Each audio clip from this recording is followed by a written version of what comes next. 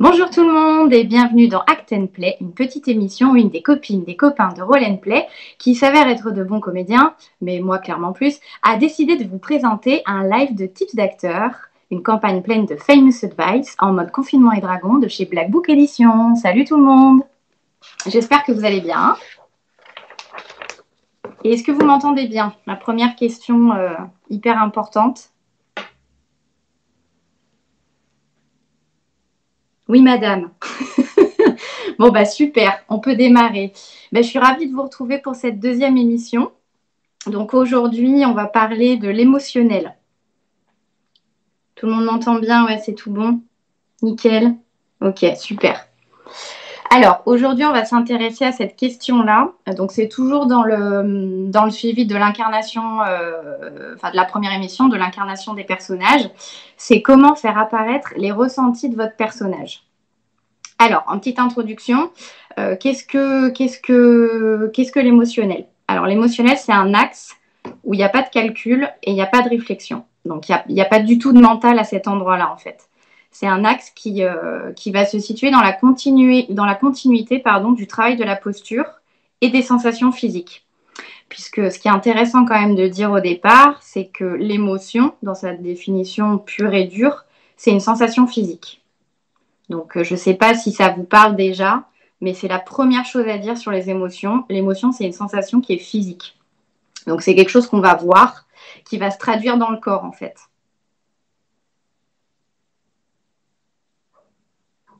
Oui, c'est ça. C'est qu'il faut enlever, je regardais en même temps un peu le chat, il faut vraiment enlever son cerveau. C'est vraiment ça, mais ça, on va y revenir après. Donc en fait, en quelques exemples, l'émotion, c'est donc une sensation physique. Et on le voit bien, en fait, quand on a peur, euh, bah, on peut avoir envie de vomir, on peut, euh, pardon de dire ça, mais on peut avoir envie d'aller aux toilettes. Euh, voilà, c'est des choses qui sont très, très charnelles, qui sont, qui sont physiques. Quand on est triste, temporairement, on peut avoir on peut avoir plus d'appétit. Euh, quand on est joyeux, tout à l'inverse, on peut avoir vachement d'appétit, euh, on peut être plein plein d'énergie, même avoir un trop plein d'énergie. Donc euh, voilà, on voit bien à ce moment-là que l'émotion, c'est des sensations qui sont physiques. Donc ça, c'est vraiment le, postulat de base qu'on peut faire au départ. et qu'on doit faire au départ pour trouver en fait le, bon endroit pour accéder à notre palette d'émotions et pour pouvoir en fait activer cette palette dans le jeu. Voilà. Ça, ce serait le, tout départ en introduction. Alors, il y a des mots-clés quand on travaille sur l'émotion. Vous pouvez noter si vous voulez, mais je pense que ça va vous parler directement. Il y a le lâcher-prise. Donc, effectivement, il y a quelqu'un qui disait on enlève complètement le, cerveau et le mental. C'est tout à fait ça. On se situe à un endroit où le mental, il n'a pas de place du tout. Donc, j'y reviendrai un petit peu après.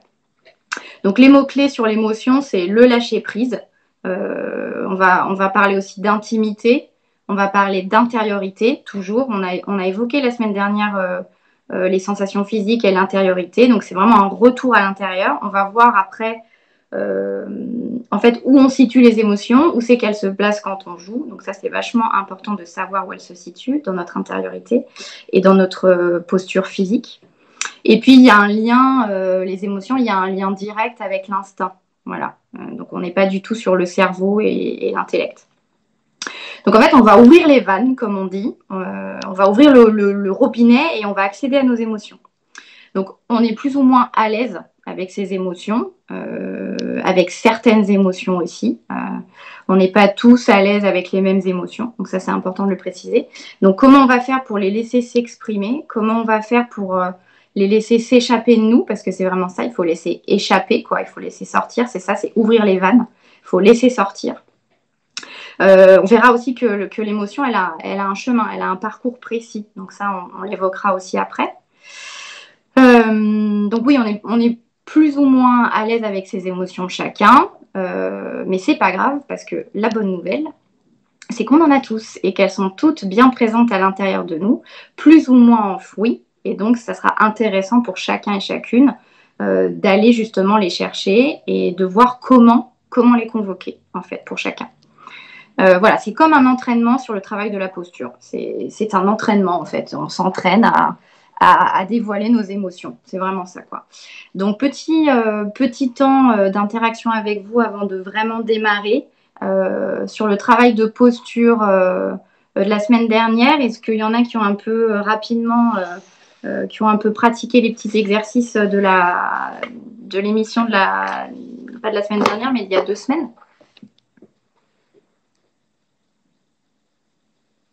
Ça prend au tripes, mon petit seigneur. Ouais, c'est exactement ça. C'est jouer avec ses tripes, ouais, tout à fait. Après, il faut aussi pouvoir l'arrêter, le robinet. Oui, oui, c'est vrai. Ben, on va voir. je vais vous montrer des exemples aussi et on verra qu'effectivement, il faut, euh, il faut savoir euh, en fait doser cette émotion-là quand elle, quand elle jaillit et quand elle arrive. Tout à fait, ouais.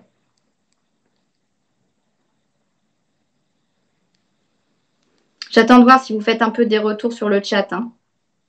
Mauvais élève, non, mais c'est pas grave. C'est juste pour savoir. J'ai eu quelques petits commentaires qui m'ont euh, montré que euh, sur Actenplay, que voilà, il y en avait certains qui avaient déjà euh, élaboré ça, qui avaient déjà un peu pratiqué ça dans leur dans leur partie. Donc c'est super. C'était juste voilà, si vous aviez des questions déjà un petit peu par rapport à ça. Oui, il y en a qui ont un peu pratiqué, super. Bon, bah super, vous avez déjà commencé, c'est bien.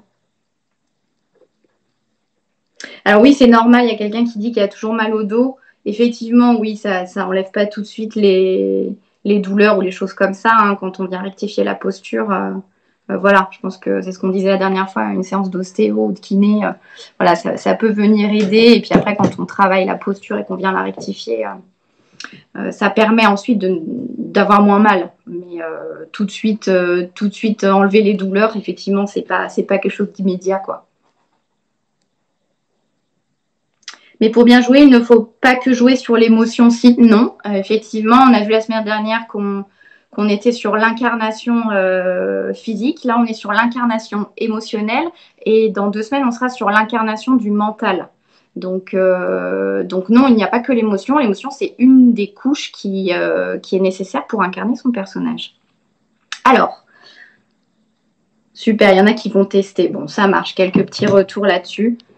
Ok, je continue un petit peu. Euh, alors, les émotions de base. On va démarrer par là. Donc, il y a, cinq émotions de base qu'on peut distinguer de manière générale. Euh, il y a la colère. Je ne sais pas s'il y en a qui les, connaissent, mais euh, euh, il y a la colère, il y a hum, la joie, la tristesse, la peur et la réflexion. Voilà pour les cinq émotions de base. Alors évidemment, il y a toute une palette de nuances après, de nuances d'émotions qui viennent s'ajouter à ça. Il peut y avoir le dégoût, l'amour, la honte, la surprise, la fierté. Donc ça, c'est des nuances, c'est des variantes, mais on distingue, on distingue pardon, euh, cinq émotions de base. Ouais, le dégoût, ça peut être tout à fait une émotion, euh, une émotion euh, à jouer. Mais bon, c'est des, des, nuances et des variantes qui sont en fait moins évidentes. C'est pour ça qu'on parle de nuances c'est comme sur une palette, on a les grosses couleurs primaires et puis après on a toutes les, nuances et toutes les variantes qui vont avec. Donc nous on va s'intéresser aujourd'hui aux émotions euh, de base, aux couleurs primaires en fait. Alors qu'est-ce que l'émotion? Je l'ai déjà un petit peu évoqué euh, en introduction, donc c'est une sensation. C'est hyper important de se représenter ça parce que quand on parle d'incarnation, on parle de sensation physique à chaque fois. Euh, si vous le sentez, vous allez pouvoir l'utiliser pour ensuite jouer avec. Donc ça, c'est hyper important à signifier. Donc c'est comme dans le travail de posture, en fait, il faut retrouver les sensations de nos sentiments euh, et se mettre en contact avec elles pour se familiariser avec chaque émotion, donc avec les cinq émotions. C'est comme une machine, en fait, euh, dont il faudrait bien connaître les rouages pour savoir comment elle fonctionne. Et moins vous l'entretenez, et plus elle s'encrasse, et moins vous observez, et moins vous pouvez en fait euh, euh, l'utiliser, euh, et, du coup vous l'avez pas forcément complètement à votre disposition. c'est donc une sensation qui, va, qui va venir vous donner une information sur vous et sur votre intériorité. Voilà pour la définition déjà de, de l'émotion, qui est donc une définition assez concrète. Hein.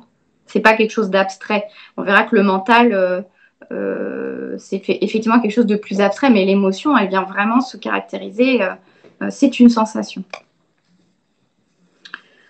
je regarde en même temps le chat, mais je, continue sur ma lancée, puis je, vous donne la parole un petit peu après. Alors, donc on a vu la définition de l'émotion. L'émotion, elle a un parcours, elle a un chemin qui est, euh, qui est hyper concret et hyper réel. Elle a un chemin qui est ascendant, c'est-à-dire qu'il y a un point de départ où vous allez, hop, vous allez sentir qu'il y a une émotion qui arrive en vous.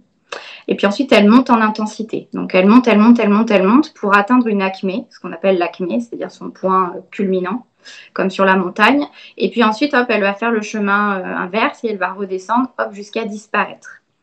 Donc ça, on peut vraiment le sentir dans, dans un, bah, en nous, quoi. Je veux dire, quand, quand une émotion arrive pour nous, mais on peut aussi, euh, euh, c'est important de, sentir tout son parcours quand on, quand on joue. parce que pour le personnage,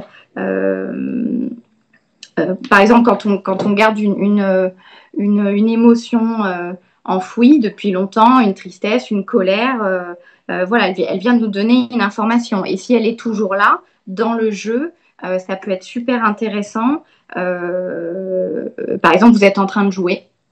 Et puis d'un seul coup, ce que vous dit quelqu'un ou la situation qui se présente à vous, que vous donne le MJ, hop, ça réveille quelque chose chez votre personnage.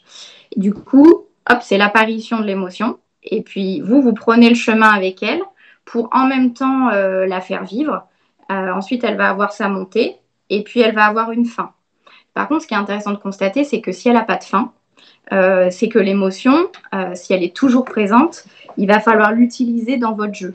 C'est-à-dire aller puiser à cet endroit-là pour y revenir et la faire complètement disparaître, par exemple, pour créer de la richesse, en fait, pour construire et pour préciser l'histoire de votre personnage. Donc ça, c'est assez intéressant de vraiment de connaître son parcours, parce que si l'émotion s'éteint pas, tiens, bah, vous avez peut-être encore à faire avec avec cette émotion-là dans le jeu et ça peut être super intéressant à, mettre en évidence en fait, à mettre en relief. Donc les, cinq émotions ont un parcours qui est, euh, qui est donc ascendant, euh, mais elles ont quand même euh, un parcours bien à elles, bien précis. Donc la joie, j'imagine que vous, que vous le savez, elle, ça monte à l'intérieur. C'est quelque chose qui part d'en bas et qui, qui, fait comme ça, hop, voilà, comme un, comme un geyser, quoi. Enfin, c'est hop, ça monte vers nous. Voilà, la peur, au contraire, quand on a peur, euh, c'est quelque chose qui, fait, qui descend. D'accord? Ça vient, ça vient, ça vient un peu nous mettre une chape de plomb et ça a ce, ça ce mouvement-là de descente. ensuite, la tristesse, pareil, c'est quelque chose qui est plus lent que la peur, parce que la peur, elle peut nous saisir, donc le chemin il est plus rapide. La tristesse, elle peut à moins que ce soit une tristesse ou un choc émotionnel. Bon, là, si c'est un choc émotionnel, hop, ça descend tout de suite. Ça va avec aussi la peur du choc, mais euh, euh, la tristesse, c'est quelque chose euh, qui peut être associé à la mélancolie. Donc, hop, ça peut vraiment descendre assez doucement, mais ça descend, en fait. La colère, Bon, c'est comme la joie, mais euh, voilà, dans un autre style, euh, ça monte directement. Et on le voit d'ailleurs euh, physiquement, ça se traduit aussi dans le corps, puisqu'on peut devenir rouge au niveau du plexus solaire, ça peut venir nous habiter ici au niveau des joues, ça peut se voir dans nos yeux, ça peut se voir aussi au niveau de l'expression du visage. Voilà, ça, a vraiment une expression dans le corps. Et la réflexion, alors elle, elle ne, descend pas et elle ne monte pas, elle tourne elle a une stagnation euh, puisque c'est de la réflexion. Voilà, c'est quand on rumine, quoi. C'est quelque chose qui tourne. Voilà. Enfin, en tout cas, moi, c'est comment je le, définis. Après, euh, elle peut pour vous tourner dans le sens que vous voulez, dans le sens des aiguilles d'une montre, dans le, sens des aiguilles d'une montre, enfin, comme vous voulez. Mais en tout cas, c'est pas quelque chose qui monte ou qui descend. C'est quelque chose qui a un rythme, je pense, un peu circulaire. Alors, si on vient mettre l'émotion au cœur du jeu, euh, on a dit que c'était une sensation physique je pense que c'est intéressant de venir se dire où est-ce que nos émotions euh, viennent se situer et comment on les transmet, où est-ce qu'elles se jouent en fait? Donc je ne sais pas, je vais me tourner un peu vers le chat. Est-ce que vous avez une idée de où se situe euh, l'émotion?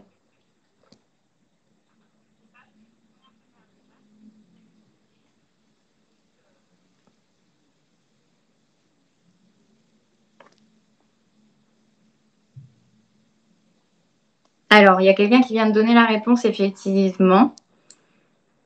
Dans le gros orteil. c'est un peu loin. Hein. Un peu loin. Elle se situe euh, dans le plexus solaire, ici. Il y a quelqu'un qui a parlé du plexus, c'est tout à fait ça. En fait, ici, ça ne nous sert pas du tout à respirer.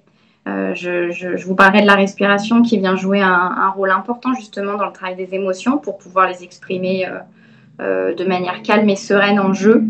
en fait, elle vient se loger dans le plexus solaire. C'est ici que ça vient rayonner en fait. Euh, et puis elle peut s'exprimer aussi un tout petit peu plus haut au niveau du visage, au niveau des joues, je l'ai dit juste avant, le front et dans les yeux. Voilà. Mais c'est vraiment ici, euh, à ce niveau-là, que ça vient se mettre.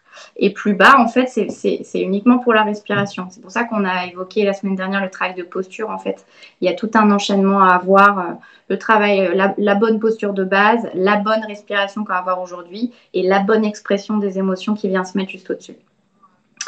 Alors, ce qui est, je pense, intéressant, un autre point qui est intéressant euh, à développer avant qu'on évoque un exercice maison que je vous ai concocté aujourd'hui.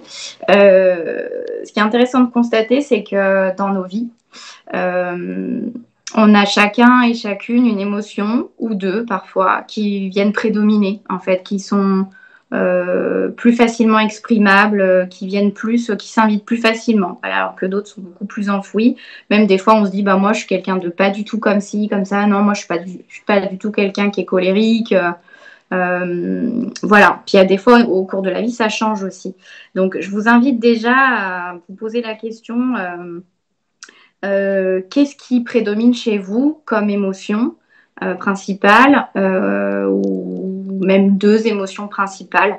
Euh, si vous voulez commencer un peu à y réfléchir sans, mettre trop de, de, réflexion mentale dessus, mais je vous pose directement la question, qu'est-ce qui vous vient là tout de suite euh, pour vous? Voilà, ça c'est la première question qu'on va avoir. Et c'est une question assez intéressante puisque la semaine dernière, on, parlait de, de, revenir vers soi, puis de, dans un premier temps d'aller vers ses facilités. Euh, donc le fait de savoir quelle émotion est plus facile pour nous, c'est d'abord inviter ses facilités pour justement euh, ouvrir son potentiel euh, créatif et, euh, construire déjà un petit chemin de confiance. Hop, j'utilise deux émotions qui, en jeu, pour moi, vont être faciles et que je maîtrise et dans lesquelles je me sens, bien. Voilà, ça c'est un premier pas que vous tracez dans votre parcours, dans votre parcours de, de, joueur de JDR en fait. Ah, il y en a qui ont déjà Réflexion et colère. Ouais, il y en a qui en ont déjà deux. Salut Bibi. Je vois qu'il y, a Bibi qui est dans le chat.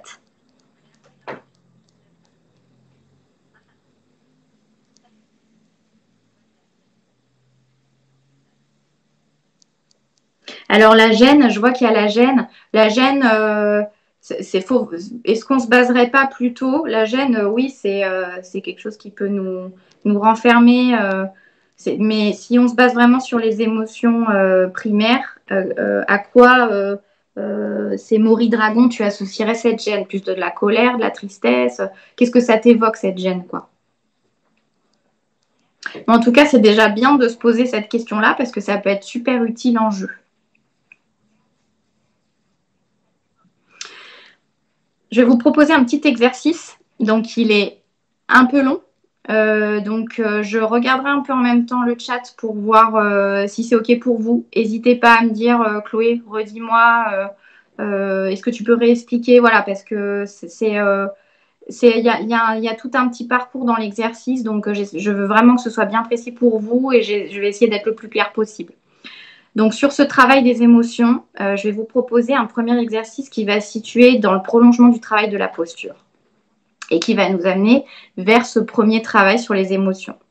Euh, donc, vous allez, dans cet exercice, vous pouvez prendre des notes si ça, si ça vous aide, vous allez reprendre une position qui est en lien avec la posture de base dont on a parlé dans la première émission. Alors, cette fois-ci, par contre, on va utiliser la posture de base, mais en étant assis sur une chaise. Je m'explique vous allez vous asseoir en vous assurant que vos pieds sont bien au sol, qu'ils touchent bien le sol, c'est-à-dire que vous avez un ancrage qui est, euh, qui est bien. Donc euh, vos pieds sont sur l'extérieur, d'accord Au niveau de la plante des pieds, voilà, bien situé sur l'extérieur des pieds. Euh, votre, au besoin, oui, pour les gens qui sont petits, hein, j'en fais partie, vous pouvez vous mettre au bord de la chaise. Voilà. dans ce cas-là, vous êtes tout de suite, tout de suite en lien avec le sol et c'est plus facile que d'être au fond de la chaise. Donc ça, ça dépend de votre taille. Euh, vous, devez décambrer votre bassin. Voilà, donc pas, tirer le, bas du dos en arrière, mais euh, bien décambrer le bassin. Euh, le buste dont on a parlé la dernière fois est tenu, mais pas tendu, juste tenu. Voilà.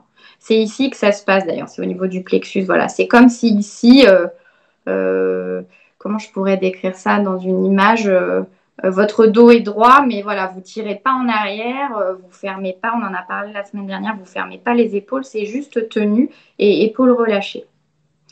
Euh, la tête, donc légèrement rentrée. J'ai pas encore eu le temps de faire cette fameuse vidéo avec la posture dont j'avais parlé. Excusez-moi de ne pas avoir pris le temps de ça. Euh, j'essaierai de faire un doublon avec euh, le travail de la posture debout et puis, euh, et puis cette nouvelle posture dont je parle aujourd'hui, voilà, pour que vous ayez deux exemples en même temps. Donc épaules ouvertes et détendues. J'ai parlé de la tête qui est légèrement rentrée, donc pas comme ça, hein, et ni comme ça, mais juste voilà, dans l'alignement derrière de la, de la colonne vertébrale. Et au niveau de la mâchoire et des sourcils, donc on a, ça peut être la mâchoire qui est légèrement ouverte, parce que là je vais parler un peu de la respiration. Euh, donc on essaie de, voilà, on ne serre pas la mâchoire comme ça. On essaie de relâcher avec une bouche légèrement ouverte. Donc les sourcils pas levés pour le coup. Je parlais d'un regard ouvert la dernière fois, mais c'est juste euh, normal et pas de froncement de sourcils j'ai des élèves qui, des fois, quand ils jouent, ils froncent vachement les sourcils. Et ça parle en fait de la réflexion, quoi, du mental qu'on vient y mettre. Donc on essaie de, voilà, de, vraiment relâcher ici et au niveau de la mâchoire. Donc on vérifie qu'il n'y a pas trop de tension ici. Il en reste toujours un peu forcément. On peut jamais tout enlever. C'est pas ce qu'on cherche non plus. Mais voilà, en tout cas, on essaie majoritairement de détendre, de mettre la conscience ici pour détendre et ici. Et puis, vous allez, euh, après avoir fait tout ça, donc assis, euh, dans la posture de base, ensuite, vous allez fermer les yeux. Est-ce que jusqu'ici, tout va bien?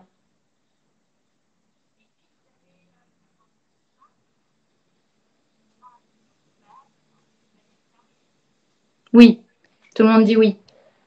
Super. Ok, donc ça, c'est clair. C'est la posture de base qu'on va utiliser pour ce premier travail sur les émotions. Alors c'est un exercice d'introspection hein, qui est euh, sur la même base que l'exercice que je vous avais donné, le premier exercice sur, euh, euh, le physique. Alors ce qui va se passer, c'est que vous allez, une fois que vous avez pris cette posture, repenser à des événements ici, personnels, qui ont été assez marquants pour vous émotionnellement et qui vont vous faire reparcourir en fait sous forme de souvenirs vivants les cinq émotions dont j'ai parlé. Je m'explique un peu plus précisément. Euh, ça veut dire, je me souviens de quelque chose, c'est passé, mais quand j'y repense et quand je visualise, je réactive en fait mes émotions qui y sont associées. Donc en fait, vous n'allez pas préparer ces souvenirs, vous allez juste les prendre au hasard en fait euh, de votre mémoire comme ils vont venir. Vous aurez donc cinq souvenirs qui sont en lien avec cinq émotions. Et ce sera dans cet ordre-là que vous allez les traverser. Tristesse, peur, colère, joie, réflexion. Je répète, tristesse, peur, colère, joie, réflexion. C'est comme un petit exercice en fait euh, méditatif, on va dire, de visualisation les yeux fermés dans la posture de base, où en fait euh, vous allez repenser un premier souvenir en lien avec la tristesse, puis un autre souvenir en lien avec la peur, puis un autre souvenir en lien avec la colère, puis un autre souvenir en lien avec la joie, puis un autre souvenir en lien avec la réflexion. Est-ce que je suis déjà euh, claire sur le principe de l'exercice?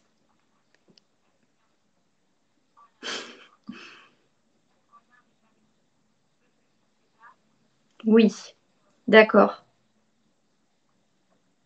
C'est exactement ça, oui. Réflexion, oui, c'est une émotion, tout à fait, oui, oui bien sûr. D'ailleurs, on voit même, je fais juste une petite parenthèse sur euh, ta réflexion, euh, euh, Bruce Livre, pardon, je dois écorcher les, pseudos, je suis désolée. La réflexion, en fait, le fait de ruminer beaucoup, ça peut créer en fait beaucoup de fatigue. Donc de nouveau, on est sur de la sensation physique. La réflexion, elle a un impact en fait hein, sur notre, sur notre euh, système immunitaire, euh, sur notre, euh, sur notre fatigue, sur notre santé. ouais, ouais, ça a un réel impact. voilà, donc on la considère vraiment comme une émotion, tout à fait, ouais. Dans cet ordre-là, de préférence, oui, tout à fait.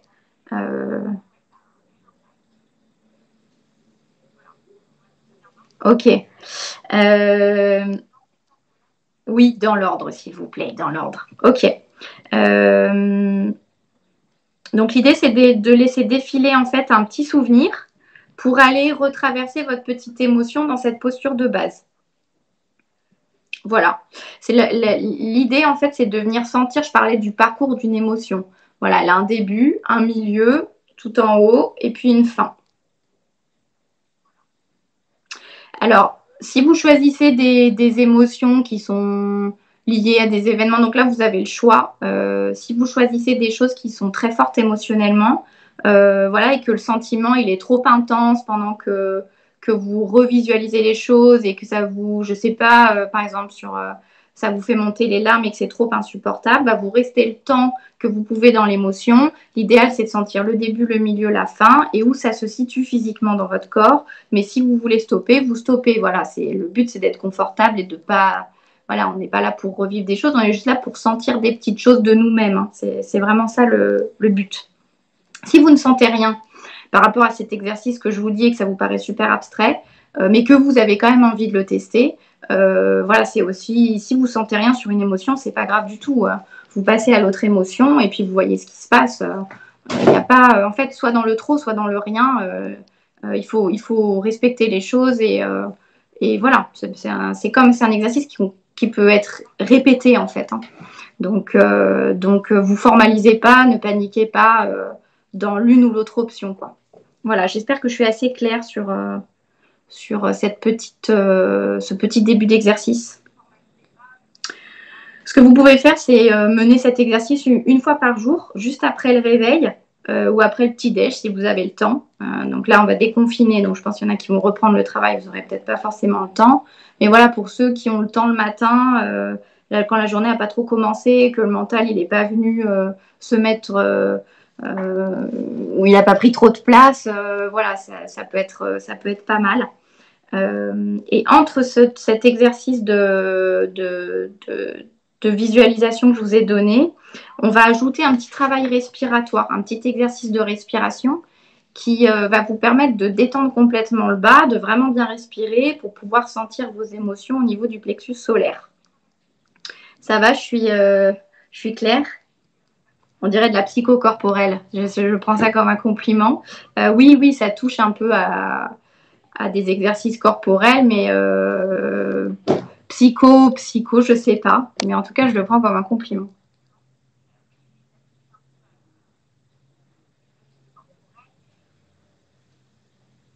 J'attends de voir si c'est euh, validé pour vous et que je peux continuer la suite de l'exercice.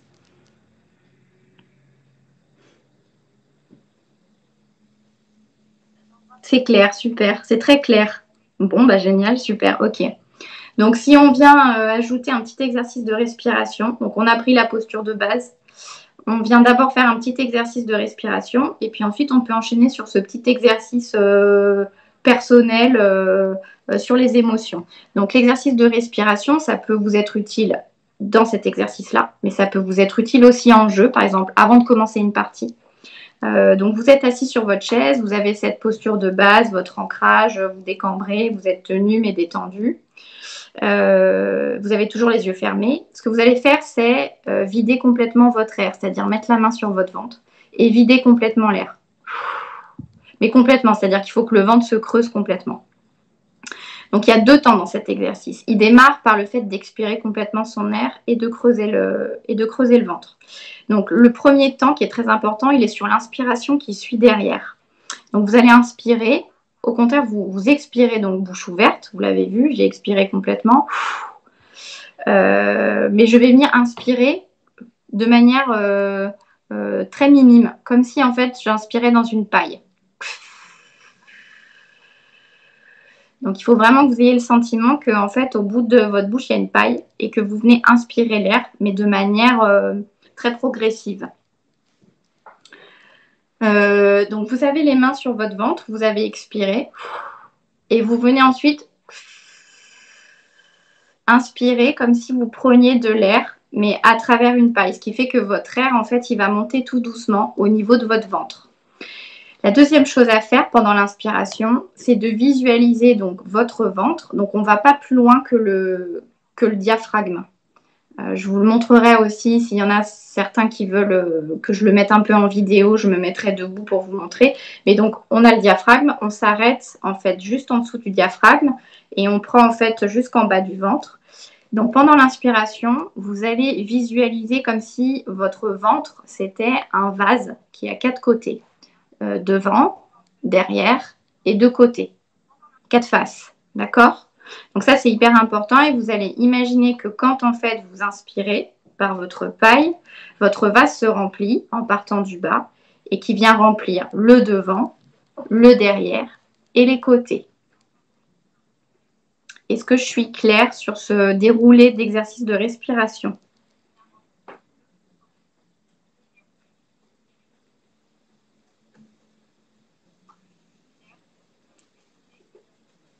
Oui, il y en a pour qui c'est déjà clair, tant mieux.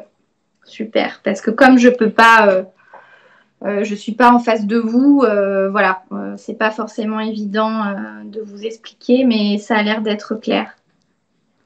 Oui, le contrôle de la respiration peut atténuer la, douleur physique, ça c'est encore un autre domaine, mais oui, tout à fait, ouais, c'est clair. C'est un deuxième temps ou un troisième temps d'émission peut-être. donc ça c'est un exercice qui est tout simple euh, qui fait vraiment du bien et qui permet en fait vraiment, parce que souvent on a tendance à respirer très haut.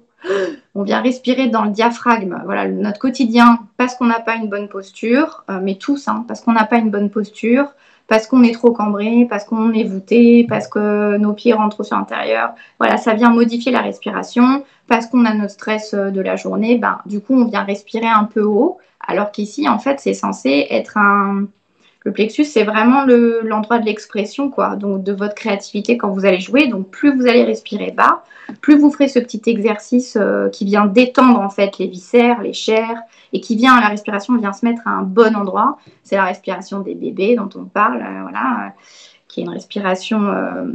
D'ailleurs, quand les bébés dorment, ça nous apaise en général. Voilà, c'est vraiment, c'est vraiment ça. C'est un exercice tout simple qui permet, euh, qui permet de se mettre, je pense, dans de bonnes conditions pour le jeu. Euh, donc si je retrace un tout petit peu, vous videz votre air sur l'expiration maximum, ça fait creuser votre ventre. Vous commencez à inspirer et vous partez tout en bas au niveau donc, du plancher pelvien en bas du ventre et vous remontez. N'oubliez pas, mettez bien vos mains parce que vous allez sentir encore une fois. vous pouvez mettre vos mains, faire un essai devant derrière euh, sur votre ventre et sur le bas de votre dos. Et vous pouvez aussi faire un essai en mettant les mains sur les côtés. Voilà, parce que vous n'êtes pas une surface plane. Souvent, on a tendance, on respire, on se dit, bah tiens, je vais respirer, je vais remplir mon ventre devant. Mais non, en fait, nous sommes en 3D. Euh, euh, et, du coup, c'est intéressant de, Voilà, ça vient aussi. Ça bouge aussi sur les côtés, quoi, et derrière aussi. Donc, ça, c'est vachement important. si c'est compliqué dans cette posture-là, c'est-à-dire en étant assis sur une chaise, vous pouvez l'essayer pardon, allongé. Euh, en relevant les jambes, donc en décambrant bien votre bassin. Mais voilà, le fait d'être allongé, peut-être ça peut correspondre mieux à certaines personnes. Donc vous avez soit la possibilité de le faire sur la chaise assis, soit allongé. Est-ce qu'il y a des questions par rapport à cet exercice qui est quand même assez long euh, voilà, si vraiment vous c'est pas clair pour vous, euh, si c'est trop compliqué, vous pouvez aussi le dire. Euh, et puis on pourra en reparler sur Act Play évidemment, mais n'hésitez pas si vous avez quelques petites questions. Alors, est-ce qu'on utilise ça en aïkido C'est une bonne question. Je ne sais pas du tout. Je ne fais pas d'aïkido et je n'ai personne dans mon entourage qui en fait. Mais ok, c'est presque pareil. Très bien.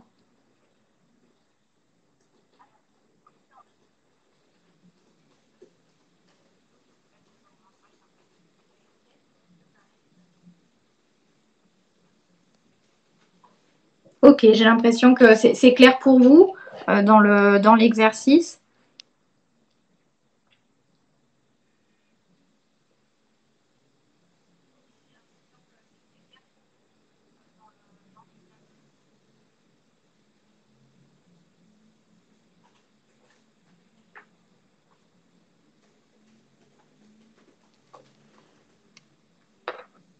sont tous en train d'essayer l'exercice, on n'entend plus personne. Oui, très clair, super, vous êtes là. Ok, super. Sur le principe, c'est clair. Oui, après, c'est vrai qu'il faut tester pour voir aussi ce que ça donne pour chacun. Hein. C'est pour ça que je dis, n'hésitez pas si vous avez des questions après coup, après l'émission. Voilà, des choses qui ne sont pas forcément claires ou d'un seul coup qui vous paraissent euh, abstraites ou un peu, un peu incompréhensibles, n'hésitez pas. Hein. Alors oui, très bonne question. On répète expiration et inspiration plusieurs fois. Alors je vous conseille de ne pas enchaîner. Je vous conseille de faire un premier test. Au moment où, euh, quand vous sentez au niveau de l'inspiration que ça commence à coincer et bloquer, hop, vous arrêtez.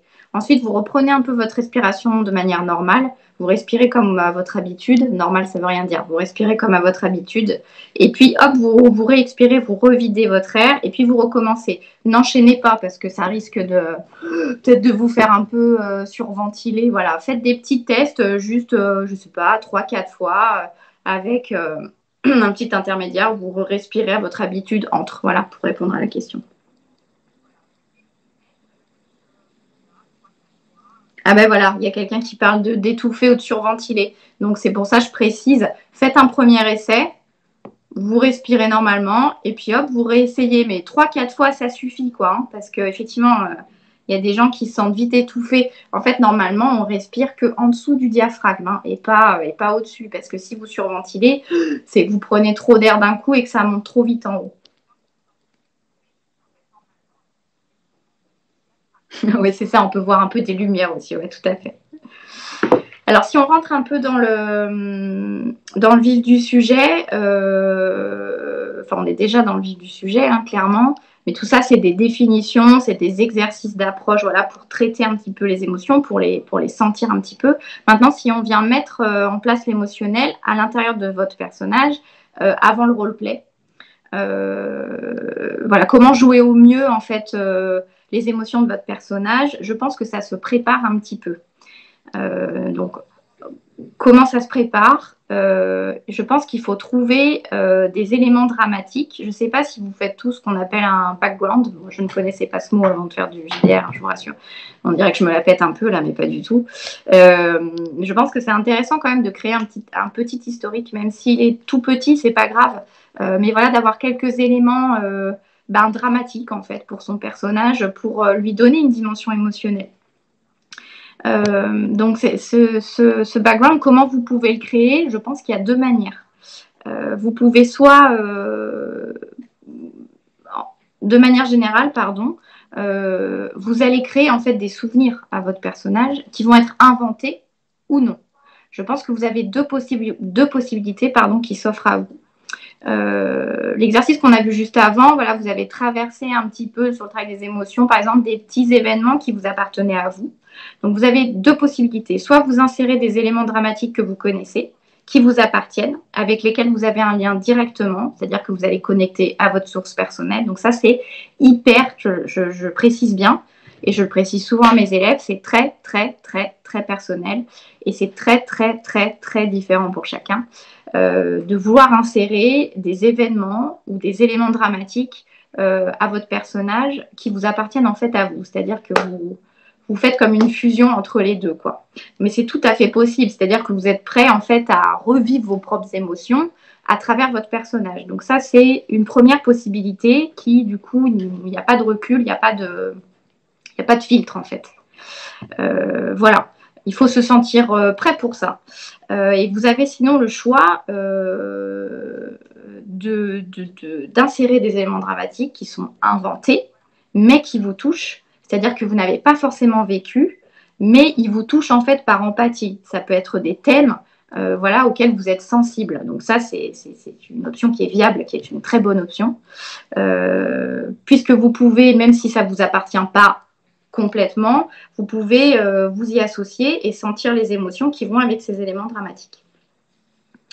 Dans les deux cas, en fait, si ça vous touche, que ça vous touche entièrement, ou ou de manière plus, euh, plus lointaine, euh, si ça vous touche, vous êtes au bon endroit, pour moi en tout cas. Euh, donc dans les situations d'improvisation, quand vous êtes à la table en JDR, vous avez plusieurs moyens de convoquer cette émotion. Pour moi, il y a, trois vecteurs principaux. Il y a le vecteur de l'empathie, c'est-à-dire qu'un autre joueur d'un seul coup, va vous toucher par son émotion et vous allez vous y associer. Ça, c'est un super moyen de, vous mettre en contact avec votre émotion. exemple, je vous donne un exemple, je ne sais pas si Bibi est dans le chat, mais moi, quand Bibi se met, se met à pleurer, et je pense que c'est sûrement valable pour les autres joueurs qui sont aussi à la table, voilà, ça, crée quelque chose, ça, peut faire monter une émotion euh, voilà, qui peut faire jouer votre personnage et auquel vous pouvez vous, identifier et vous pouvez vous inclure à ça. Donc par empathie, vous venez, euh, aussi vous activer votre propre émotion. Euh, elle peut survenir par une très bonne surprise du MJ. Donc nous, ça nous est arrivé très souvent. hop, se servir de cette surprise pour d'un seul coup, voilà, si, vous, vous êtes surpris, votre personnage est surpris, et hop, d'un seul coup, vous allez pouvoir vous servir de ça pour rentrer dans votre émotion. Donc euh, ça, ce sont les bonnes surprises du MJ qui sont une bonne porte d'entrée pour aller dans votre émotionnel. Euh, il reste une dernière euh, porte d'accès. Ça, c'est le choix. Le fait de vouloir partager une émotion. Donc être volontaire, c'est-à-dire que d'un seul coup, vous partagez quelque chose avec les autres personnages, que votre personnage est prêt à sortir une émotion. Ça, c'est le troisième moment. Euh, on en vient à la, partie, euh, à la partie un peu analyse de ces émotions. Donc, je vous ai préparé euh, des petits exemples forts que les personnages de mes compagnons ont vécu dans la campagne d'Oblivion. On a eu quelques, quand même, des exemples assez forts dans cette campagne déjà. Donc, vous allez, en fait, on vous a préparé des petites vidéos, voilà, pour tout vous dire, pour pas maintenir le suspense voilà, vous allez voir ça. On va, analyser ensemble des, euh, euh, des, petits extraits de mes copains qui vous ont préparé des petites euh, impros en lien avec une émotion. Voilà. Alors, on a vu qu'il y avait des exemples forts, je les retrace très rapidement dans la campagne d'Oblivion, mais vous devez les connaître évidemment. Il y a le personnage d'Ozias avec sa relation avec Akmar, évidemment. Il y a Léowen avec ses frères. Euh, il y a récemment Sibelle aussi, la mort de Galfrine, euh, et la colère et la solitude que ça a véhiculé. Et puis il y a le, il y a le aussi le background d'Ulzar. Donc euh, ça, c'est quelque chose que vous connaissez pas. Mais bon, on a pu voir que c'est un personnage qui, qui, peut être assez colérique. Donc on a un petit extrait aussi à vous montrer de, de ça. Euh, voilà, on voit souvent que les émotions, en termes d'intensité de jeu, effectivement, elles sont très fortes quand on évoque des thèmes comme le deuil, euh, la rupture amoureuse. Euh, voilà, j'ai pas fait de vidéo sur moi, c'est volontaire. J'ai pas très envie de m'analyser. Je vais plutôt analyser les autres. Euh, voilà, c'est, euh, j'ai pas trop envie de faire non plus le reflet de Narcisse, ça m'intéresse pas trop. Donc, euh, je préfère, voilà, mes copains ont répondu présent et, je les remercie parce que j'espère que ça vous sera utile pour, le, pour vous ensuite. voilà, donc je disais qu'on voit bien que les émotions les plus fortes, et si vous avez envie de les tester, c'est sur des backgrounds qui évoquent euh, des, thèmes qui sont hyper douloureux. Donc là, vous êtes sûr d'aller sur des choses qui vont vous faire vivre quelque chose, mais il faut se sentir prêt. Hein. Ça peut aussi être des petites émotions, chacun a sa jauge d'intensité. Et, ça, c'est hyper important dans l'émotionnel parce que c'est très personnel et très intime de respecter euh, là où on est chacun. J'insiste vraiment sur ce point. Hein. Dans les exercices que je vous propose, il n'y a pas euh, d'obligation, c'est juste des, petits tests si vous avez envie. Euh, voilà, parce c'est un travail, euh, l'émotionnel, c'est un, travail qui peut être assez profond. Euh, voilà, bah, si vous êtes prêts, si vous êtes prêts, on va y aller. Je vais vous proposer un premier extrait que vous allez regarder, et puis ensuite on va l'analyser ensemble. donc le premier extrait, c'est un extrait, une séquence de Mélie. qui est, qui est bah, je ne dis pas sur quelle émotion, bon, de toute façon ça va, ça va se voir tout de suite voilà, une première séquence, il y a deux séquences avec Mélie, c'est volontaire. Donc c'est des petites séquences de 2-3 minutes. Je vous laisse le temps de regarder, puis on se retrouve juste après. C'est la première séquence de Mélie. On dit que nos âmes sont comme des grands puzzles. Et qu'à chaque fois qu'on vit un traumatisme, c'est comme un morceau qui s'envole et qui revient jamais. J'ai du mal à réaliser aujourd'hui que je retrouverai jamais ces morceaux. Le premier que j'ai perdu vraiment, c'est la mort de mes parents. Et puis après, on était tous les trois, on se reconstruisait. On a été euh, recueillis et pris en charge. Et la disparition de Nélonie, ça a été à nouveau un nouveau traumatisme. Encore un morceau qui s'envole. Quand on est enfant comme ça, on... Perdre un frère, c'est tellement... Ses parents, puis son frère, enfin... Après, j'ai... Je me suis construite avec ça. Voilà, il y avait des trous dans mon âme, mais, mais on a continué. J'ai eu une enfance un peu particulière, j'ai été très seule et je me suis construite à ma manière. Et puis, euh, et puis j'ai pris ma route et euh, on m'a rappelé pour m'informer que, que mon frère, euh, que Siloriel avait disparu. Et là c'est encore un morceau, encore un morceau de son âme qui s'envole. Ça commence à plus ressembler à grand chose. Et j'ai fait de ma mission de vie une recherche, voilà, de les retrouver, de retrouver Siloriel et Nélonis. C'était des circonstances qui se ressemblaient et je me suis dit que ça devait avoir un lien. Et, quand on les a retrouvés, euh, quand on les a retrouvés, j'ai cru que, j'ai cru que, que les, les morceaux allaient revenir et que, et que mon âme allait être euh, comblée. Voilà, aujourd'hui, aujourd'hui, je, dois accepter deux choses. Le fait que mes frères ne reviendront pas et ce gros morceau de puzzle de mon âme avec un gros point d'interrogation à savoir si... Euh, qu'est-ce que c'est? Est-ce que... Est-ce que je suis vraiment profondément comme eux? Est-ce que est-ce que ce rituel de la lune sanglante a, fait de moi ce que je suis peut-être, je ne sais pas.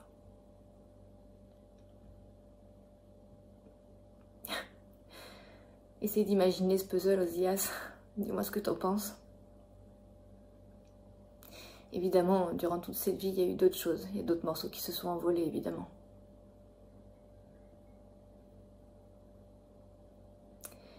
Et voilà, il faut continuer à avancer avec.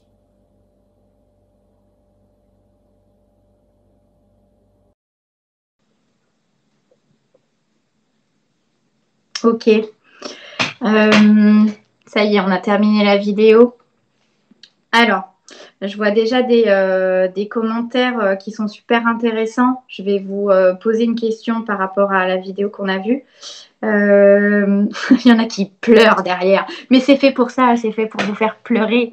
Non, euh, oui, vous avez super bien analysé. J'ai regardé un peu le chat en même temps. Effectivement, ce que ça provoque, on voit de nouveau bien que c'est une sensation physique. Donc, ces sensations physiques que, que vit le personnage de Mélie, euh, que vit Mélie sur le moment, c'est des choses qui sont naturellement, voilà, qui sont pas du tout maîtrisées, euh, mais c'est une très bonne analyse. On voit bien que ça se traduit vachement euh, au niveau du visage, comme on le disait. Il y a quelqu'un qui a parlé de la respiration haute, super intéressant. voilà, parce qu'on parle de, de, respiration basse, mais effectivement, quand on, met, quand on maîtrise pas quelque chose et qu'on a une émotion qui sort, ben ouais, l'émotion, elle se traduit ici, donc la respiration ici, à cet endroit-là, elle peut être tout à fait haute, quoi, puisque c'est pas du tout maîtrisé, c'est pas calculé.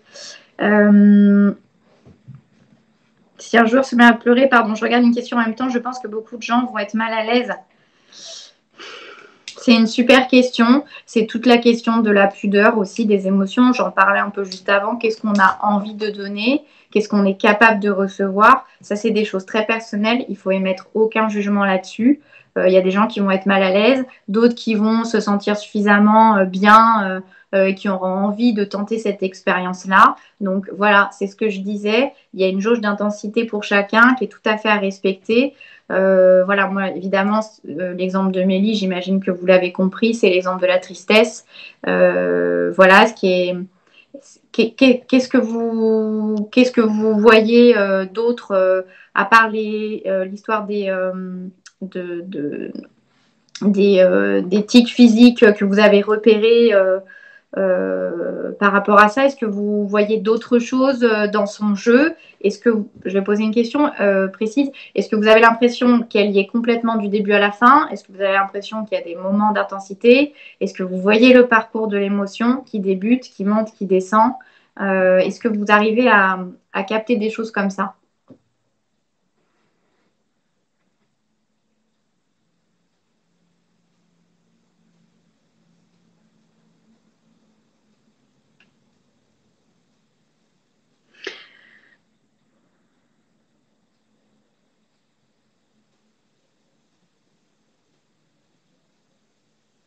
Alors, le regard côté, il y a quelqu'un qui a parlé de la tête inclinée. Je reviens sur les postures, euh, sur la posture euh, qu'elle a pris physiquement. En fait, quand on incline la tête, je pense qu'elle le fait spontanément. Euh, quand on, veut éviter en face une colère ou quelque chose comme ça, on incline un peu la tête. C'est une façon, en fait, d'être dans quelque chose d'assez doux. effectivement, la tristesse, c'est vraiment quelque chose, elle se dévoile, quoi. Donc si elle penche la tête sur le côté, ça peut vouloir dire euh, voilà, je te livre quelque chose de moi quoi. Je suis pas dans un affront avec une tête qui est, euh, qui est droite, qui est précise. On le verra, il y a quelqu'un qui, euh, qui on verra bien qu'il y a un exemple après de quelqu'un qui le fait et il n'y a pas d'inclination de tête. Et ça c'est hyper intéressant parce que c'est peut-être quelque chose que vous pouvez utiliser quand vous quand vous êtes sur des émotions que vous voulez véhiculer ou peut-être vous le ferez spontanément, mais voilà, si on l'analyse aujourd'hui, la tête inclinée, c'est quelque chose qui, qui traduit de la douceur, quoi. Euh, dans le rapport, qui n'est pas du tout un affront et qui n'est pas frontal. Alors oui, la frontière entre tristesse et colère, elle est toujours fine, toujours, toujours, toujours. C'est deux émotions qui sont hyper liées. Et vous, pouvez tout à fait être triste, puis quelques minutes après en colère, il y a, quelqu'un qui le propose dans un autre exemple, on le verra. Euh, c'est deux émotions qui, forment un binôme, hein, très très souvent. Ouais, tout à fait. Il y a, une acmé, il y a quelqu'un qui le précise au moment du point de la main. Euh, en fait, si on retrace un petit peu son parcours, je le fais rapidement. Euh, Mélie, elle lâche très vite prise dans la, dans la vidéo. Euh, elle a un phrasé qui est très très naturel, qui n'est pas calculé en fait. Elle parle comme si c'était elle. Donc il y a une espèce de, collage, sachant que ce ne sont pas des éléments, parce que ça je leur ai demandé avant, qui leur appartiennent. Hein. Euh, par contre, elle me disait que c'était un thème, Mélie, euh, je, voilà, je me permets de vous le faire partager parce qu'elle m'en a parlé, qui la touche. C'est ce que je disais tout à l'heure. C'est pas quelque chose qui est à elle, euh, mais c'est quelque chose qui la touche. Donc, elle, elle, ça la touche suffisamment pour qu'elle elle le colle à elle et que ça devienne une émotion par empathie, en fait. Hein. Donc, elle laisse très, vite place à l'émotion. Au bout, de, 40 secondes, elle y est. Et effectivement, ça monte. Et à un moment donné, il y a quelqu'un qui disait que, hop, elle essaie de, se recontenir. Donc, euh, la plupart du temps, elle, jalonne bien sur le fil de l'émotion comme ça. C'est-à-dire que l'émotion, à 40 secondes ensuite, elle après, elle est tout le temps là. C'est-à-dire qu'elle la laisse vivre. Donc, l'émotion, elle a des pics. Et puis, euh, elle la laisse malgré tout exister en la contrôlant très légèrement, parce qu'elle laisse quand même bien sortir, euh, et, elle met son fil de pensée par-dessus. Alors, les mouvements de mâchoire, ouais, c'est intéressant à signifier. C'est pas quelque chose que, très honnêtement, j'avais regardé. Ça doit être euh, quelque chose encore un peu spontané qu'elle fait.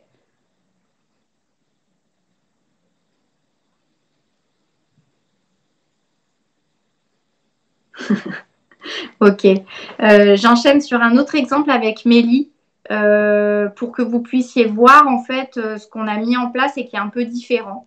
Voilà, c'est le, même thème, mais pas, pas véhiculé, pas transmis de la même manière par la comédienne.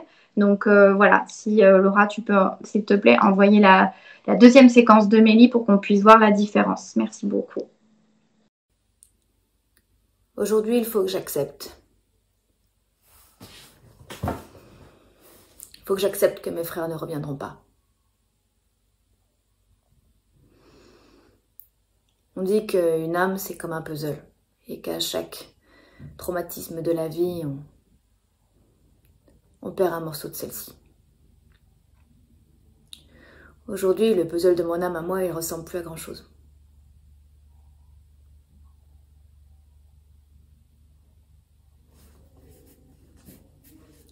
J'ai passé toute ma vie à les rechercher. j'ai réussi. J'ai réussi et je crois qu'en fait, au final, j'aurais peut-être préféré peut-être ne pas les retrouver. Aujourd'hui, je sais qu'ils sont perdus et et de plus se pose à moi la question de savoir si effectivement à cause de ce rituel de la lune sanglante, je suis comme eux. Est-ce que est-ce que je suis un risque pour moi, pour l'équipe, pour la quête? Je ne sais pas. Aujourd'hui, je sais que j'espérais récupérer ces morceaux pour me reconstituer, me reconstruire un petit peu.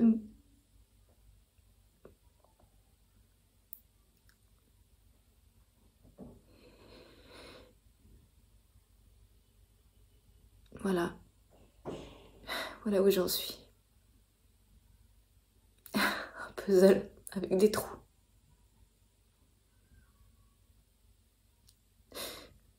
Une jolie image, hein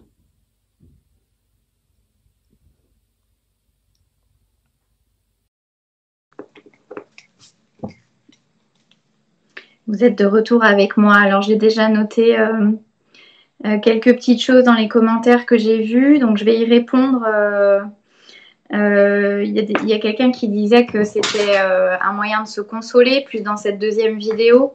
Elle est super belle aussi cette vidéo, elle est, elle est un peu différente. Ouais, grosse ambiance, hein, on voit. Et ça va pas aller en s'arrangeant, croyez-moi. vous allez finir dans le darn à la fin de l'émission. On fera, on fera un truc plus gai la prochaine fois, c'est promis. Mais là, on bosse les émotions, donc on est sur, euh, voilà, sur des choses un peu, euh, un peu intenses. Euh, donc, il y a quelqu'un qui parlait d'un de, d'un moyen de se consoler. En fait, je pense que ça parle de recul. C'est en fait une vidéo où elle, elle contient un peu plus, c'est-à-dire qu'à par deux moments, elle relâche, elle fait sortir beaucoup l'émotion, mais parce qu'elle l'a beaucoup contenu. Donc, c'est une tristesse qui est plus contenue, qui est plus retenue. Euh, voilà, donc ce moyen de se consoler, c'est une, essayer de se mettre un peu en distance. Et ce qui est joli, c'est qu'en fait, il y a des moments où elle n'y arrive pas. Et du coup, ça jaillit. Voilà, on parlait de ces robinettes, ces vannes qui s'ouvrent. Euh, euh, voilà, et c'est, il est joli ce passage aussi pour ça.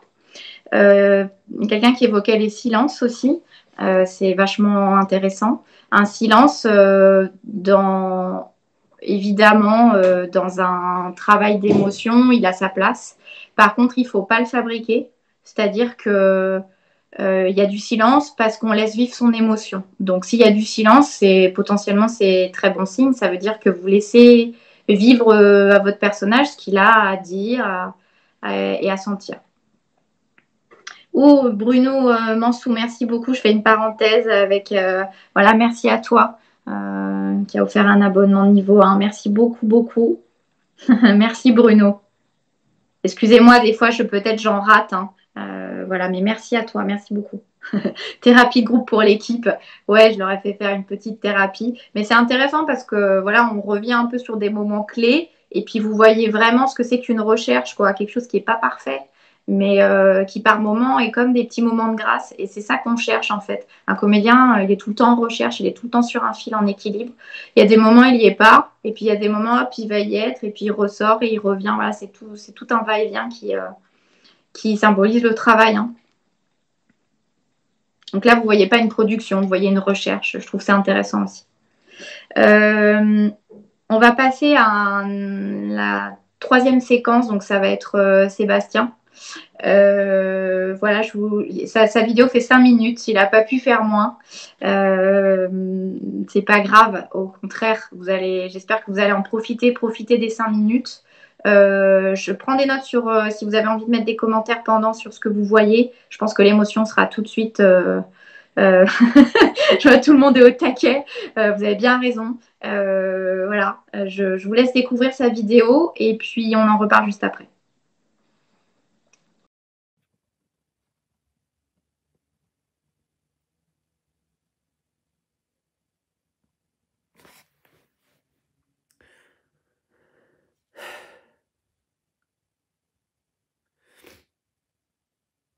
Pas si simple de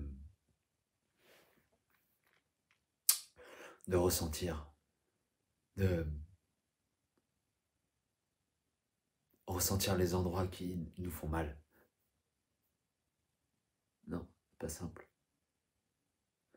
Parce que notre quête, elle nous a emmenés dans des endroits que je soupçonnais même pas, que j'avais même pas imaginé de moi. Et euh,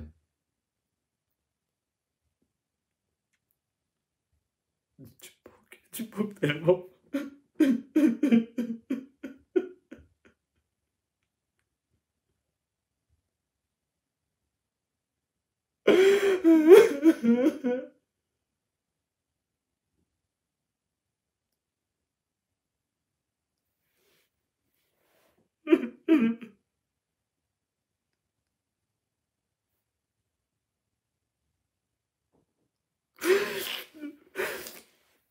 Comment je vais faire sans toi? Comment je vais faire? Hein? Toi, tu avais ce pouvoir-là, ce truc de pouvoir rassurer en, en, dévoilant la vérité, même celle qui fait peur, celle qui effraie. Dompter l'obscurité en, en mettant ta lumière à toi pour dire euh, Hé, regardez, c'est pas, c'est pas si grave. Mais il n'y a plus de lumière. Il n'y a plus aucune lumière. Toi, tu, tu disais que toutes les vérités, elles sont un peu forcément noires, mais qu'il y a de la lumière. Mais moi, il n'y a plus rien. Il n'y a plus de lumière, Akmar, je vois plus rien.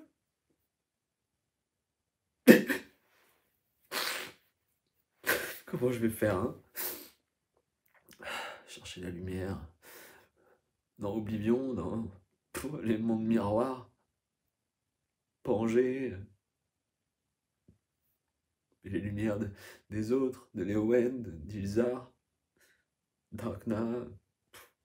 Quel fril. Hmm. Tout ça, c'est.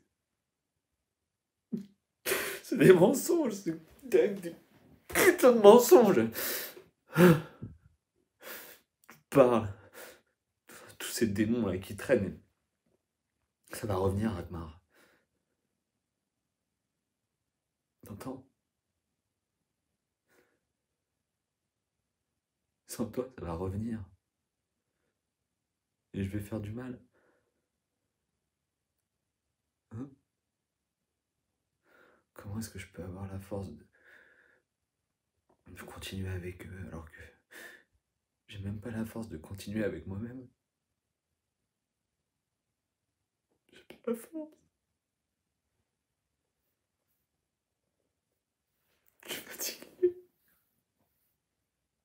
Je suis fatigué.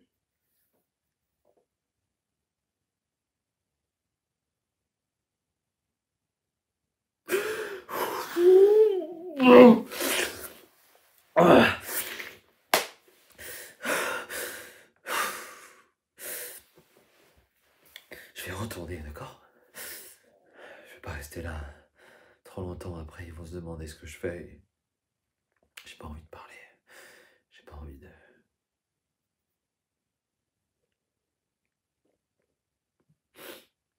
Mais je reviendrai te voir, hein? D'accord?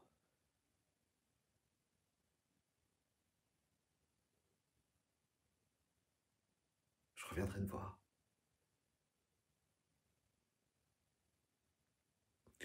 Et tu me prendras dans tes bras, hein? Et puis tu me diras que ça, ça ira. Tout ira bien.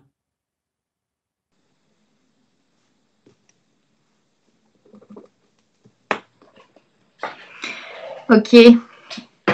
J'espère que tout le monde va bien.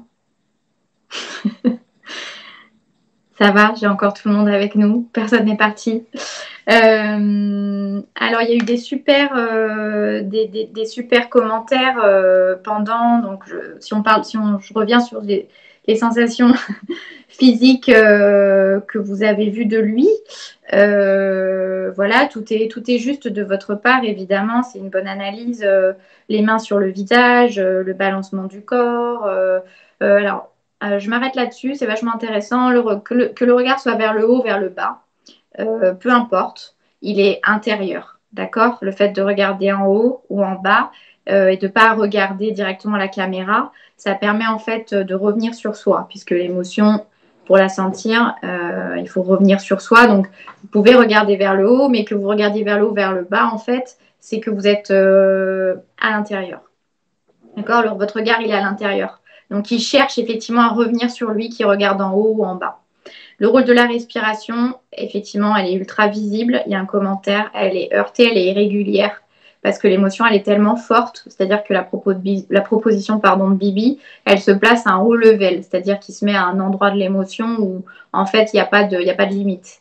Euh, bon, il y en a quand même, hein. on voit, il y, a, Phoenix qui a dit un moment qu'il y avait un changement. Effectivement, il y a eu, il y a, il forcément dans votre travail un peu de contrôle, parce que je veux dire, sinon c'est nos limites. Il faut savoir, c'est toute la difficulté euh, pour un comédien euh, de trouver en fait, de laisser sortir l'émotion, mais en même temps de la contrôler.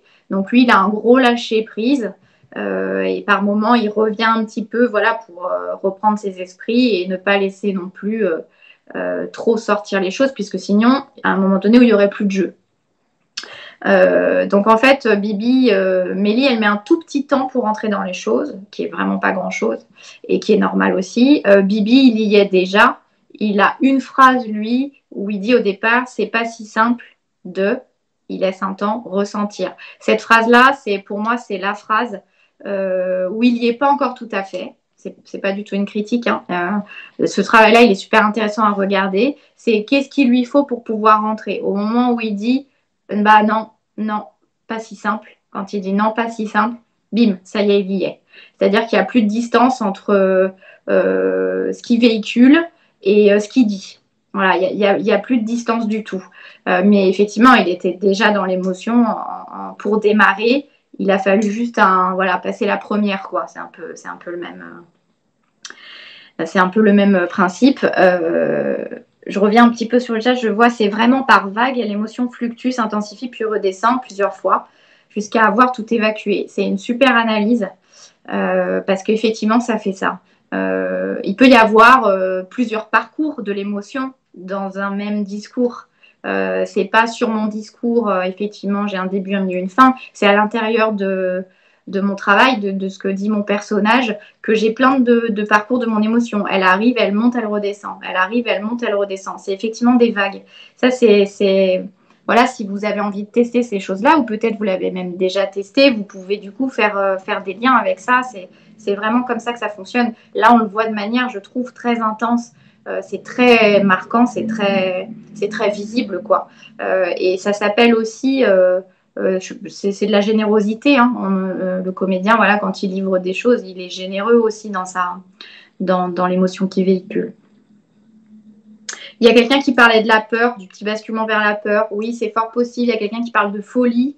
Euh, J'irai pas jusqu'à la folie, mais effectivement, la respiration haletante peut faire penser à de la folie. Je pense que le personnage de Osias ne se situe pas là.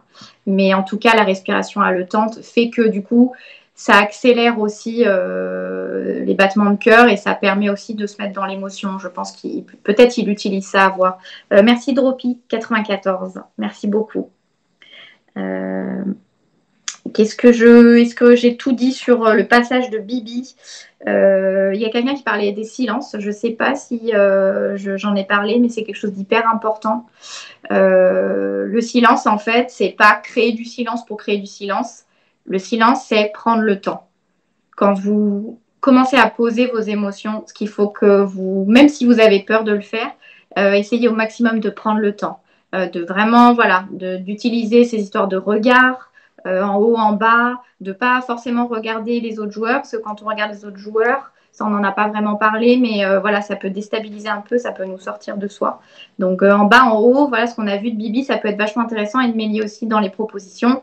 La tête inclinée, vous pouvez vous en resservir. Le balancement et la respiration haletante, voilà, ça c'est des choses assez extrêmes, je ne vous les conseille pas tout de suite. Euh, voilà, euh, plus des petites choses. Tout ce qui est sourcils, bouche, tout ça, de toute façon, ça viendra avec l'émotion, ça c'est de la spontanéité. Euh, on va suivre avec Juliette qui nous a fait un petit extrait aussi, qui a travaillé précisément sur une émotion. même si elle, effectivement, hein, une émotion, elle n'est jamais complètement c'est jamais qu'une émotion. Hein. On, jalonne toujours un peu, elle, passe sur d'autres émotions, mais voilà, il y a, une, ligne principale sur laquelle on a, enfin, qu'elle a mis en place elle, que, j'avais, que je lui avais demandé. Donc voilà, on va regarder la séquence de Juliette et je regarde en même temps vos commentaires.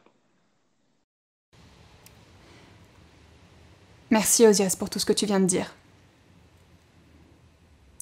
Je crois que les derniers événements changent beaucoup de choses pour moi. Et je ne crois pas avoir encore ma place parmi vous. Si j'ai rejoint les manteaux gris, c'était pour essayer de réparer des choses que j'avais pu commettre par le passé. Je ne suis pas très fière de mon passé, Osias.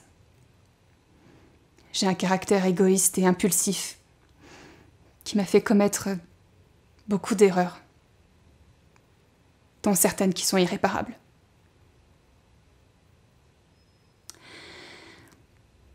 Et donc, si j'ai rejoint les manteaux gris, c'était pour essayer de reprendre un chemin plus droit, plus juste, de servir une vraie cause, en oubliant qui j'étais et d'où je venais.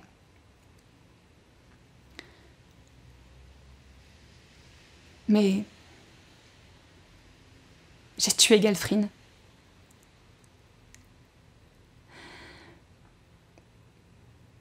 Je sais pas ce qui s'est passé quand je l'ai aperçue sur ce toit. Juste après l'avoir vu tuer l'anguille, j'ai senti une colère et une rage monter en moi comme j'en avais jamais senti depuis des années. Et je me suis retrouvée à attaquer un adversaire par derrière, dans son dos, et à le trancher en deux. Et tout ce qui restait ensuite, c'était le corps d'un petit alphelin par terre. Quand j'ai réalisé ce que je venais de faire, j'étais terrifiée.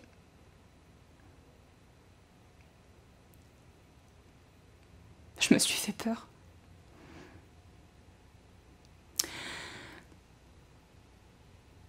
Alors, maintenant je sais que ce que j'avais entrepris est vain, que j'ai manqué à ma tâche et à mon devoir, que je vous ai enlevé votre ami.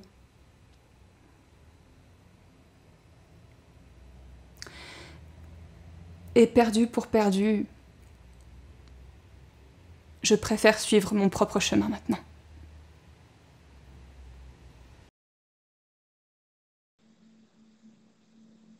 Ouais, vous avez vu, on rigole. Hein. c'est gai tout ça. Bah oui, mais bon, les, événements marquants d'Oblivion, euh, c'est ceux-là, quoi. Donc euh, je reviens, je reviens là-dessus parce que c'est ceux qui sont les plus marquants aussi physiquement. Euh... ouais, il y a de quoi être troublé par toutes ces émotions, clairement. Alors c'est peut-être un peu plus dur à colère envers elle-même, ouais. Euh, c'est peut-être un peu plus dur à saisir. On est sur la réflexion. Euh, voilà, c'est peut-être moins euh, visible euh, au niveau des traits, au niveau de, ce que ça traduit dans le visage, parce que la réflexion, voilà, c'est quelque chose qui tourne comme ça, mais elle passe quand même par, elle démarre sur la réflexion, elle passe un tout petit peu sur la tristesse, voilà, mais effectivement, on, est, on est vraiment sur quelque chose de plus, plus en réflexion, quoi. Donc là, c'est vachement intéressant. On voit que contrairement à la tristesse et, à la tristesse, puisqu'on a eu deux exemples de tristesse avec euh, Mélie et Bibi. Euh, voilà, là, on est sur quelque chose qui se traduit moins physiquement. Euh, intéressant. Est-ce que j'ai des impressions, lit toutes les autres émotions, on dirait. c'est une bonne question. Ben, c'est quelque chose de, peut-être moins intense, qui, qui, se traduit moins dans le corps. Donc, pas forcément qu'elle relie toutes les autres, après, de toute façon, pour se souvenir des choses, on passe par cette réflexion. Donc oui, c'est vrai que la remarque n'est pas du tout inintéressante. Ça, peut être, ça pourrait être un fil conducteur, tout à fait, oui. Euh, qu'est-ce que je voulais vous dire par rapport à cette vidéo? euh, elle met, euh, on voit, on voit que, que, Juliette, et ça, ça sera intéressant aussi pour le travail de la prochaine émission sur le mental, où on a vu que, que, Bibi, il mettait une phrase pour rentrer dans les choses. Juliette, elle, euh, elle met un tout petit peu plus de temps, c'est-à-dire que la réflexion fait Elle cherche un petit peu au départ. Donc on est sur quelque chose de très articulé, très coupé au départ. Et puis à 1 minute 4, quand elle commence à parler de Galfrine, c'est-à-dire l'événement euh, dramatique de ce qui s'est passé pour elle, quand elle le, je pense, quand elle le visualise et quand elle parle de ça, puisque c'est à Osias qu'elle parle en face, à qui elle s'adresse, tout de suite on rentre dans l'émotion. Alors que juste avant, euh, dans cette réflexion, il n'y avait pas encore une mise en place qui était tout à fait, euh, tout à fait là. Et ça, c'est hyper intéressant à constater parce que, bah, en fait, on fait de la recherche. Donc, elle, elle, avait besoin de se mettre dedans, de, de, parler, d'être dans les mots pour ensuite, euh, pour ensuite rentrer vraiment en lien avec son émotion.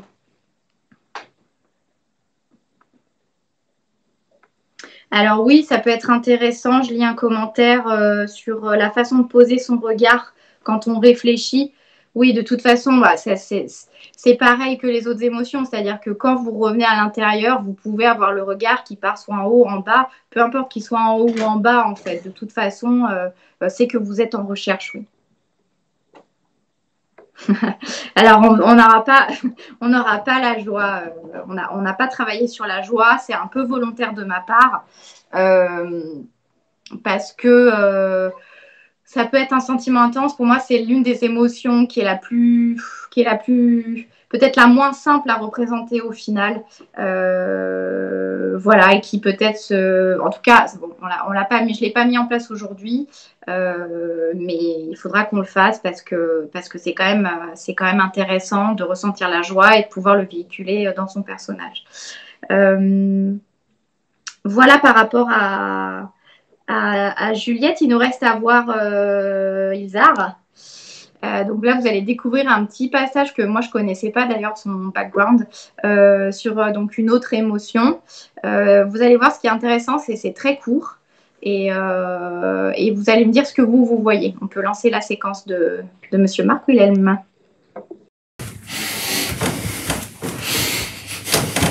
Tu le savais, Kratos. Tu le savais. On t'a prévenu. On te l'a dit maintes et maintes fois, moi et mes collègues. Cette grue était défectueuse. Cette grue vient de casser sur mon père C'est mon père qui est mort sur cette caisse, Kratos. Ma mère est veuve à cause de toi. Ma sœur pleure toutes les nuits à cause de toi. Et moi, mon destin est brisé. Je suis charge de famille à partir de maintenant. Moi seul peux les nourrir. Tu vas payer, Kratos. Tu vas payer. Pour ton avarice. Pour ta paresse pour ta mesquinerie. Je vais tout détruire. Je vais détruire ton atelier. Je vais détruire ta famille. Je vais détruire ta maison. Je te maudis, Kratos.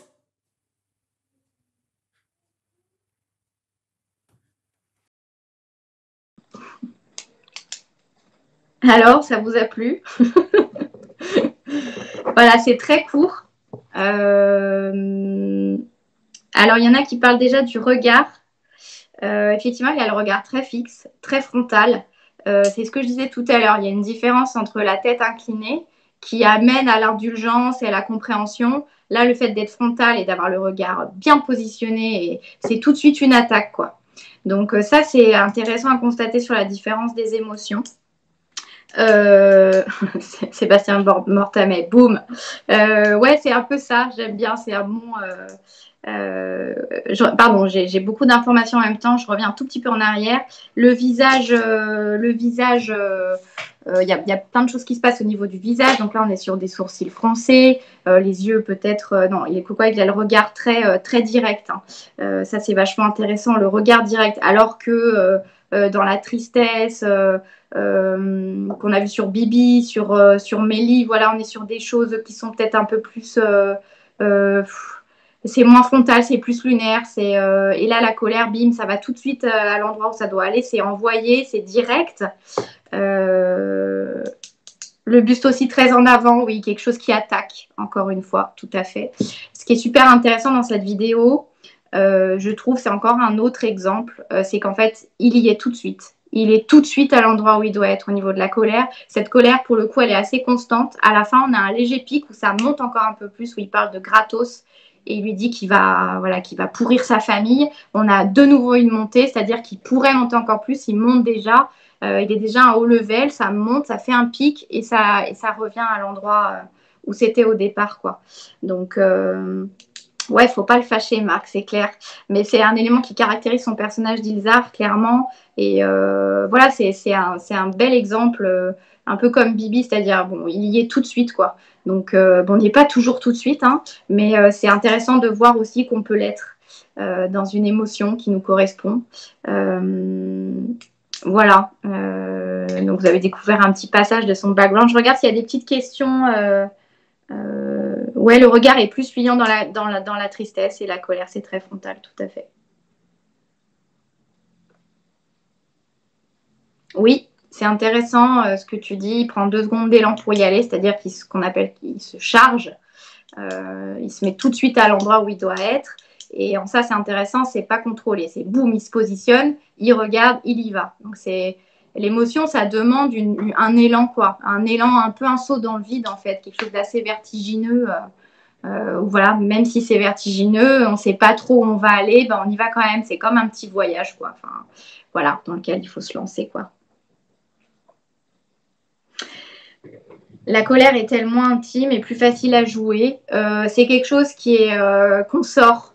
Euh, je dirais que c'est pas forcément plus facile à jouer parce qu'il y a des gens qui détestent se mettre en colère. je dirais que par contre c'est plus quelque chose qui est extérieur. Enfin non, il y, a, différentes colères. Il y a la colère sortie, extériorisée. Il y a la colère contenue. je pense que c'est tout aussi intime. Euh, mais par contre, c'est bon, c'est comme il y, a toujours deux manières de faire quoi. Il y a le fait de, soit de l'extérioriser, soit de la contenir. C'est ce qu'on a vu avec Mélie. Il y avait la tristesse plus sortie puis la tristesse plus contenue. Euh, donc il y a les deux possibilités qui s'offrent à vous. Après, je pense que ça peut être tout aussi intime. Ça dépend de votre personnalité. ouais, c'est ça. Il a la carrure. Ouais, c'est ça, tout à fait. Euh, ce que je vous propose du coup maintenant pour clôturer un peu les épisodes qu'on a vus, euh, si vous avez des questions en fin de, on, arrive, on approche bientôt de la fin de l'émission, mais évidemment on fera un petit temps euh, sur le, à la fin là, sur le questionnaire que je vous avais demandé. et puis sur les questions que vous avez à me poser. Donc n'hésitez pas à les garder en mémoire là pour la fin. suite à ces, à ces, petits, ces petits extraits qu'on a vus là, euh, je vous propose un petit exercice maison si vous avez envie, quelque chose de, concret. Euh, on a vu, on a analysé un petit peu ça.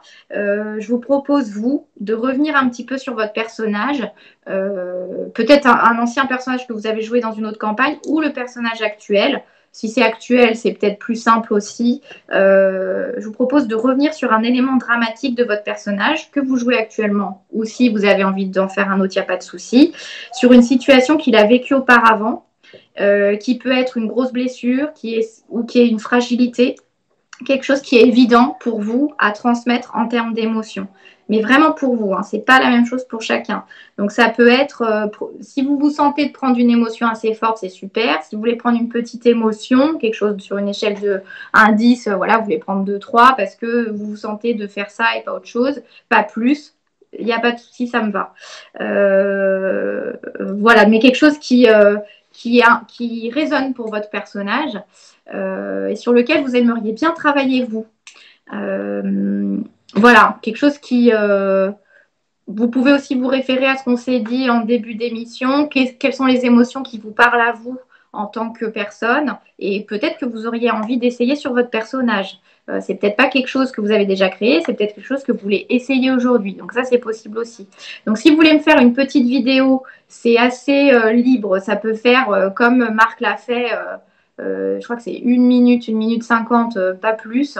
Euh, ou d'aller un peu plus loin et développer plus parce que ça dépend des personnes. Il y a des, personnes qui développent plus et d'autres qui n'ont pas besoin et qui sont plus, enfin, plus, directes en fait. Euh, il n'y a pas, de jugement là-dessus. Il y a des gens qui enrobent plus et d'autres qui, vont plus euh, tout de suite comme ça directement. donc voilà, ça peut être 10 lignes, ça peut être 20 lignes. Vous me faites une petite vidéo et puis, si vous avez envie de la partager avec moi, vous pouvez la mettre soit sur le, groupe Facebook d'Act Play, euh, si vous avez envie de la partager avec les autres, c'est-à-dire que les autres peuvent aussi vous faire des retours, euh, soit vous l'envoyez sur ma page Chloé JDR, et en quel cas, là, ça reste privé, et on échange ensemble. Voilà, deux possibilités, euh, deux, possibilités, et vous prenez ce qui est écologique pour vous et confortable euh, voilà, par rapport à ça. Ça peut, voilà, ça peut être aussi vraiment 20 secondes. Hein, si vous voulez faire 20 secondes, faites 20 secondes.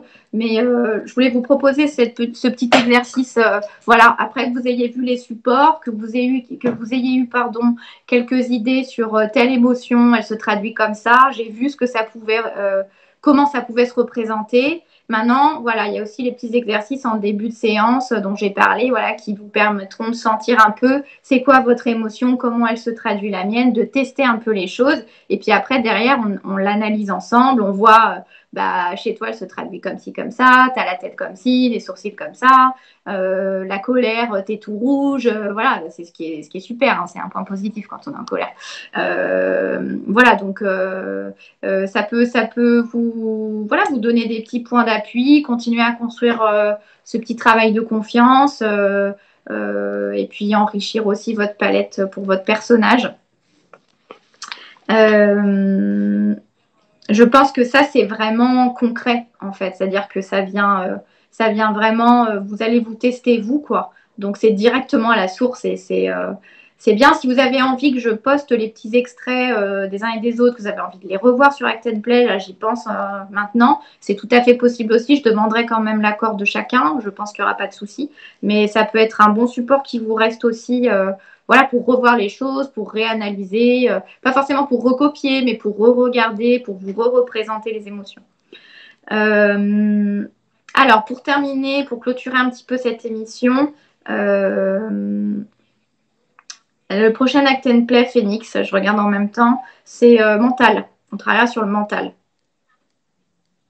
C'est-à-dire qu'on viendra analyser en fait comment parle votre personnage, le débit, euh, le rythme de votre pensée. Euh, voilà, parce qu'en fonction du type de votre personnage, du caractère de votre personnage, il n'a pas la même façon de parler, euh, de s'exprimer. Est-ce que c'est il a un débit lent? Est-ce qu'il a un débit rapide? Est-ce qu'il parle beaucoup? Est-ce qu'il parle par mots, par bribes de mots? Voilà, ça ce sera la dernière couche en fait, qui est donc ici le mental. Hein, puisqu'on a fait? La posture physique, l'incarnation physique, on a fait l'incarnation émotionnelle, puis hop, on continue de monter et on vient travailler au niveau du mental. Souvent, on fait intervenir le mental en tout dernier parce que souvent, il vient toquer à la porte de tous les des deux autres.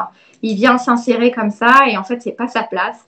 Donc euh, voilà, comme le mental, euh, il prend beaucoup de place, souvent trop. Je préfère démarrer par les autres d'abord. Euh, on va en venir à vos questions à vous. Je fais juste un tout petit aperçu sur les questions du, du quiz euh, sur les émotions des personnages. Il y avait eu deux questions que j'avais posées. Quelle émotion ressort le plus quand vous jouez vos personnages? Laquelle est la plus évidente pour vous à montrer? Donc, sur, sur 200 euh, personnes, je crois qu'on arrive à 200 personnes à peu près sur le questionnaire. En premier, il y a la colère qui arrive. Ensuite, il y a la tristesse, la peur et la joie. Donc voilà, c'est quand même vachement intéressant à constater. Euh, moi, je n'ai pas du tout travaillé sur la joie. Du coup, c'est marrant. Je, enfin, je trouve que ça se recoupe un petit peu. La joie, c'est pas si facile que ça à mettre en place. Euh, et ce qui ressort le plus, c'est colère, tristesse, peur. Donc, euh, c'est un peu ce qu'on a vu aujourd'hui, même si la peur n'était pas clairement abordée. C'était principalement colère, tristesse, un petit peu peur qui peut aller avec aussi. Euh, voilà, qui sont des sentiments sûrement les plus simples au final à faire ressortir, même si des fois on peut en avoir peur. c'est principalement cela qu'on va venir travailler d'abord. Euh, et la dernière question sur les émotions, c'était à l'inverse, y en a-t-il une ou même plusieurs que vous vous autorisez moins à montrer en jeu ou même pas du tout?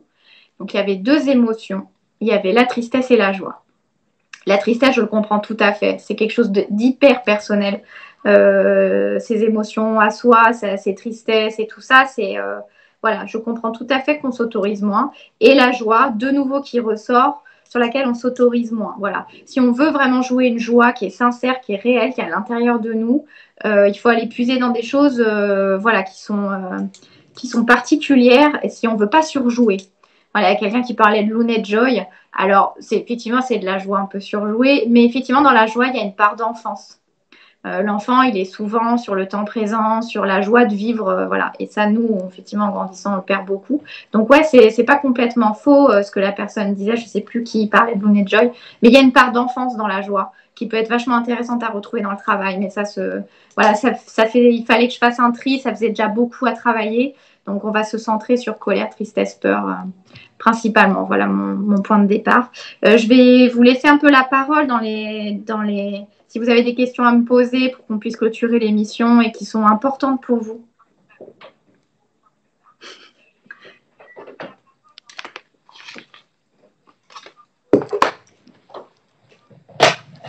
Oui, non, je ne sais pas faire le moonwalk euh, bulldozer. Je n'ai jamais su. Je ne sais pas faire le moonwalk.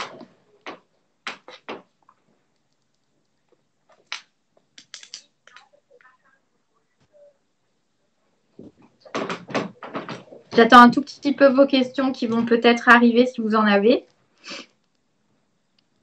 Si c'est sur euh, des questions sur les exercices là vient de faire, enfin des questions qui vous viennent, euh, ou alors euh, voilà peut-être sur vos personnages que vous jouez en ce moment, sur les émotions, si vous avez des questions.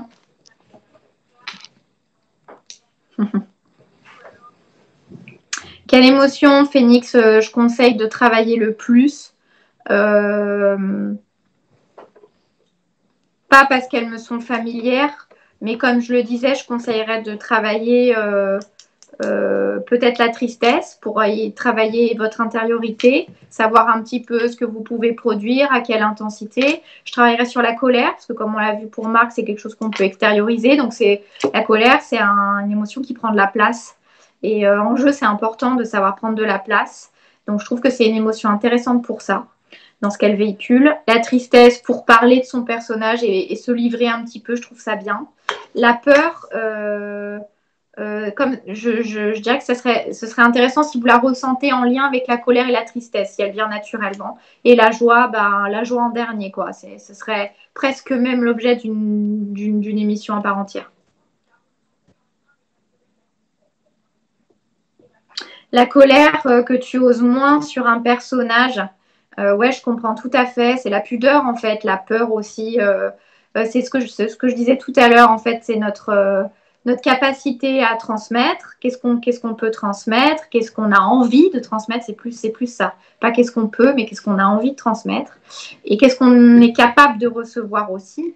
Donc ça...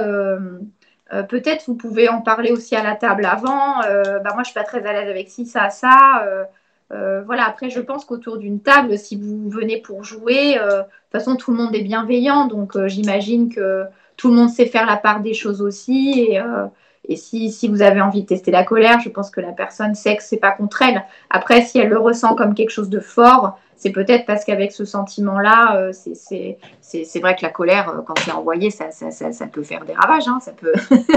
mais bon, tant mieux, quoi. Ça veut dire qu'on est vivant et qu'on reçoit des choses. Euh, mais je comprends, le, je comprends le, la difficulté.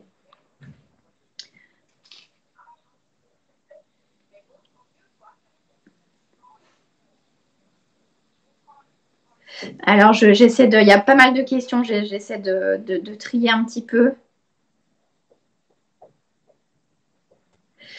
Quel serait le strict minimum, Maury Dragon, pour euh, montrer chaque type d'émotion du personnage? Il n'y a pas de strict minimum, je parlais jauge d'intensité, par respect pour chacun, parce qu'en fait, une émotion, elle se voit très vite. Donc, euh, même si euh, c'est juste latent et que ça se capte au niveau des yeux, qu'il n'y a pas de larmes et qu'on arrive à la sentir, c'est déjà, déjà proposer quelque chose. Donc en fait, le strict minimum, c'est le fait que toi, tu ressens déjà cette émotion. Si tu la ressens, nous, on la verra. Et ça, ça peut être déjà le strict minimum qui est déjà super bien. Donc pour chaque émotion, euh, on n'est pas obligé d'arriver à une intensité de fou. On peut déjà juste proposer quelque chose que nous, on va tout de suite sentir et qui va tout de suite transparaître si toi, tu la ressens. Donc ça, quand tu parles de strict minimum, je dirais ça euh, sans, parler de manière péjorative. Alors, l'émotion de la réflexion, euh, bah, je disais que c'est une émotion qui tourne comme ça quand votre personnage réfléchit, c'est comme si vous, vous réfléchissiez en fait. C'est-à-dire que votre pensée, elle n'est pas préconstruite. Euh, souvent, on se dit, bah tiens, je vais dire ça, ça, ça, ça, ça, on le verra dans le mental après, euh, dans, dans, la troisième émission. Mais en fait, la réflexion, vous devez, euh, enfin, vous devez. Je trouve que ce qui, ce qui marche le mieux, c'est en fait, de, comme je le fais là, de, réfléchir en même temps que je parle. La réflexion, c'est vraiment ça en fait. C'est comme si vous ne savez pas ce que vous allez dire à l'avant, vous avez l'idée d'ensemble, mais vous cherchez en même temps. Ce serait ça finalement euh, la réflexion. Comment on fait pour ne pas se laisser emporter par l'émotion, Sarneige euh, On a eu quelques exemples de, de, Bibi, de Mélie. Je ne sais pas si ça aide un petit peu euh, de voir qu'en fait, je pense qu'en fait, c'est toujours un test. Euh, je pense que de toute façon, on sent quand c'est en train de déborder, c'est-à-dire quand ça a vraiment trop lâché. Alors, si on n'a pas l'habitude, par exemple, de trop se mettre en colère, de trop pleurer, ben, d'un seul coup, on peut le proposer en jeu, ça peut peut-être sortir fort. Peut-être qu'il y aura au départ des choses euh, qui vont sortir trop fort, qui ne seront pas régulées. Ben, c'est pas très grave. C'est comme dans l'exercice que je vous proposais sur les émotions. Euh, voilà, si c'est trop fort, euh, bah, vous allez sentir, hop, vous arrêtez. C'est pas grave si c'est pas tout à fait dosé. Parce que si vous voulez trop doser au départ, ça veut dire que vous mentalisez et que du coup l'émotion, bah, voilà, elle peut pas sortir. Donc peut-être ce sera pas parfait, mais ça, on cherche pas la perfection. On l'a vu tout à l'heure dans les exercices, euh, dans les extraits qu'ont proposés les autres, ils sont aussi en recherche. Donc finalement, on l'est tous. Et ça, c'est un point super important. C'est-à-dire qu'on est tous au même. Euh, voilà, c'est une recherche de soi-même en fait, je pense.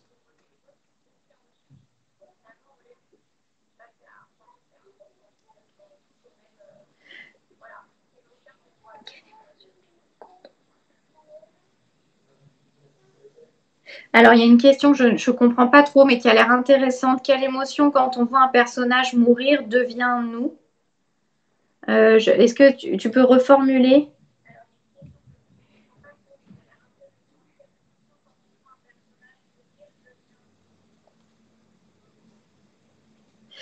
Euh, oui, ça peut être intéressant, Oldarki, de, de, fermer les yeux pour réinitialiser. Oui, on en a déjà parlé avec la posture. Effectivement, ça peut permettre de se recentrer un petit peu. Oui, tout à fait. Il y a pas mal de questions sur le fait de ne pas se laisser déborder par une émotion. Euh, de toute façon, en jeu, vous craignez pas grand-chose, même si vous êtes débordé par l'émotion. Vous le sentirez, les autres aussi. Euh, si, vous, si vous jouez avec des gens depuis très longtemps, il y a une sorte de bienveillance. Donc, vous ne prenez pas trop la tête avec ça. Euh, si vous faites des petites vidéos, vous me les envoyez, vous pourrez, euh, vous pourrez justement, vous pourrez justement tester ça. Peut-être si vous le testez déjà tout seul, bah, ça vous permet de prendre un peu confiance, de ne pas avoir trop peur dans les choses. Et puis après, hop, vous le testez à la table, ça vous fait deux espaces pour tester des choses.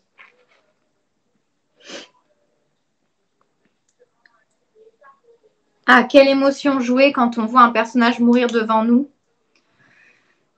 Je crois qu'il n'y a pas d'émotion, euh, il n'y a pas une émotion type. En fait, si simplement moi là j'y pense et que je vois mourir quelqu'un devant moi, ben tout de suite ça va me faire monter les larmes. Donc je pense que, si, si vraiment on se connecte à ce que ça pourrait nous faire nous, euh, bah, c'est la tristesse qui va monter, quoi, parce que à part que ce soit un ennemi juré dans votre personnage, euh, vous allez être touché par les choses, donc ce serait la tristesse.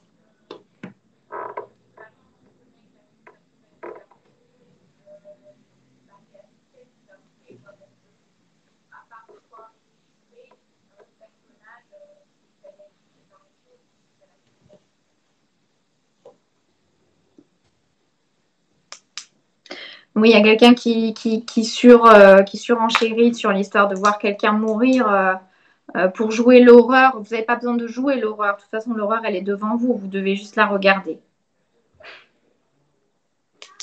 Oui, tout dépend de la relation avec ton personnage et l'alignement. C'est pour ça que je pense que les vidéos, ça peut vraiment être un bon point en fonction du caractère de votre personnage, de là où il situe, ses émotions principales à lui, ce que vous, vous avez envie de tester en tant que joueur. La stupeur, je dirais que c'est plutôt en lien euh, avec la, peur, quoi. Euh, c'est quelque chose qui surprend, qui, euh, fige un peu, quoi. Donc, c'est physique, encore une fois. Hein. alors, il y a une question intéressante, c'est quoi la bonne distance entre soi et son personnage? C'est tout le travail du comédien, c'est une super question. moi, comment j'aborde le travail dans ce que je vous propose, c'est quand même d'être en lien un peu avec soi-même. Euh, parce que je pense que sinon on fait des choses qui, si on fait des choses trop en distance, ben, on ne peut pas ressentir ce plaisir de jouer, on ne peut pas ressentir les émotions. Donc après, il y a, quand on est comédien, c'est notre métier. De, on veut bien s'investir, on veut bien aller dans ces endroits-là. Euh, voilà, pour un joueur de JDR, c'est ce que je dis, vous allez jusqu'où vous voulez aller pour tester les choses. Euh, mais avoir un tout petit peu de lien avec soi-même, je pense que c'est un bon support et que ça peut être un support vraiment de plaisir. Euh, et puis qui permet d'extérioriser qui on est aussi, de montrer qui on est. Euh, voilà, moi c'est comme ça que je conçois le jeu. Alors trouver, il faut, en fait, il y a toujours une, parfois on n'a pas cette distance. Même en tant que comédien, des fois on nous propose un rôle. Moi, des fois, je pars en casting et puis on propose euh, euh, le rôle d'une jeune fille. Euh, voilà, qui, va mourir ou pire, enfin, je, voilà, des choses difficiles qu'elle aurait vécues, voilà, et que j'ai peut-être pas forcément envie de jouer parce que j'ai pas envie de m'identifier à ça. voilà, donc par moment, la distance, elle se fait aussi en fonction de notre état. Euh, des fois, on, est capable de s'investir complètement, on y va à fond. Des fois, on met un peu de distance parce qu'il faut se protéger aussi, parce que c'est bien. Euh, donc, cette distance, elle est, c'est à vous de la trouver c'est à vous de sentir euh, ce que vous voulez mettre. Voilà, je parlais des possibilités. Soit mettre des événements personnels à vous, soit au contraire avoir un peu de distance, mettre des événements qui vous touchent par empathie. voilà, c'est, ce sont des choix qui permettent de mettre votre distance à vous.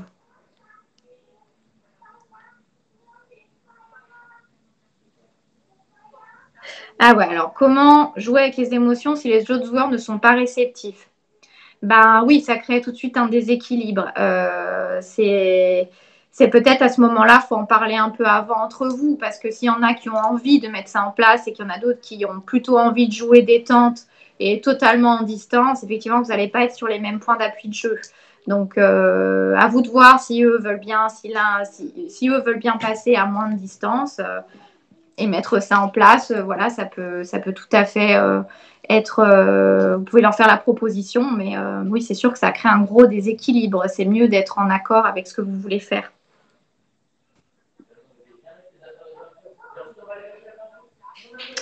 oui, tout à fait. C'est une super question, une super réflexion, Maury. Un personnage qui, qui vit un événement traumatique, oui, il est d'abord figé par la peur, c'est-à-dire qu'il n'a pas de sentiment. Alors ça, tu détailles vraiment précisément ce que c'est que le parcours d'un événement traumatique. Quand on vit quelque chose de traumatique, on, fait, la partie consciente, elle se fiche complètement, elle met tout ailleurs.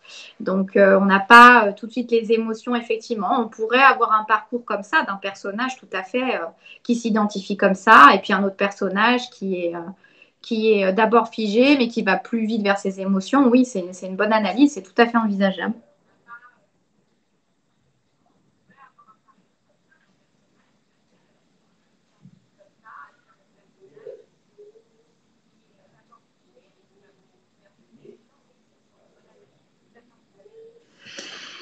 Est-ce qu'on a fait un peu le tour de toutes les questions?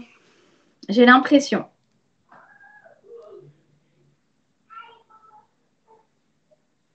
En tout cas, n'hésitez pas si vous avez. Euh, on va clôturer ici. Je pense qu'on a fait. Euh, c'est déjà euh, pas mal dense comme émission avec beaucoup, beaucoup d'informations. Donc, n'hésitez pas si vous avez besoin de parler encore entre vous après l'émission. Et puis, n'hésitez pas, encore une fois, à me poser des questions sur Act Play. Euh, je vais évidemment mettre les vidéos que je devais vous mettre déjà depuis un petit moment. Euh, voilà, et s'il y en a qui ont envie de faire euh, ce petit exercice de vidéo, vraiment, ce sera avec plaisir que je vous ferai des retours. moi, c'est mon kiff, hein, donc n'hésitez pas, je vous répondrai. voilà, je vous, je vous, remercie beaucoup d'avoir suivi l'émission. J'espère que ça va vous donner des points d'appui. Euh, des, nouvelles idées, euh, des nouvelles envies. Voilà, c'est vraiment le but euh, de vous proposer cette émission et ces types. Donc la prochaine émission, on travaillera sur le mental. Donc voilà, je mettrai ça en place. C'est le, dernier, relief principal des grandes lignes du personnage et de l'incarnation du personnage. Je vous remercie beaucoup, beaucoup. merci aussi à Laura qui est là et qui passe les extraits et qui est présente. Euh, voilà, parce que les gens dans l'ombre, il euh, ne faut pas les oublier. Euh, c'est pas toujours tout que pour nous. Voilà, je, bah, vous embrasse tous fort et puis je vous dis donc à dans deux semaines. Et voilà, je reste présente si vous avez, si vous avez des questions. et n'oubliez pas d'envoyer vos petites vidéos, donc soit sur le groupe Act Play ou sur Chloé Souliman JDR. Voilà, je vous dis à tout bientôt. Bonne, bonne fin de confinement et déconfinez bien. Et puis, je vous dis à très vite. Bye bye tout le monde. Merci beaucoup. Bye bye.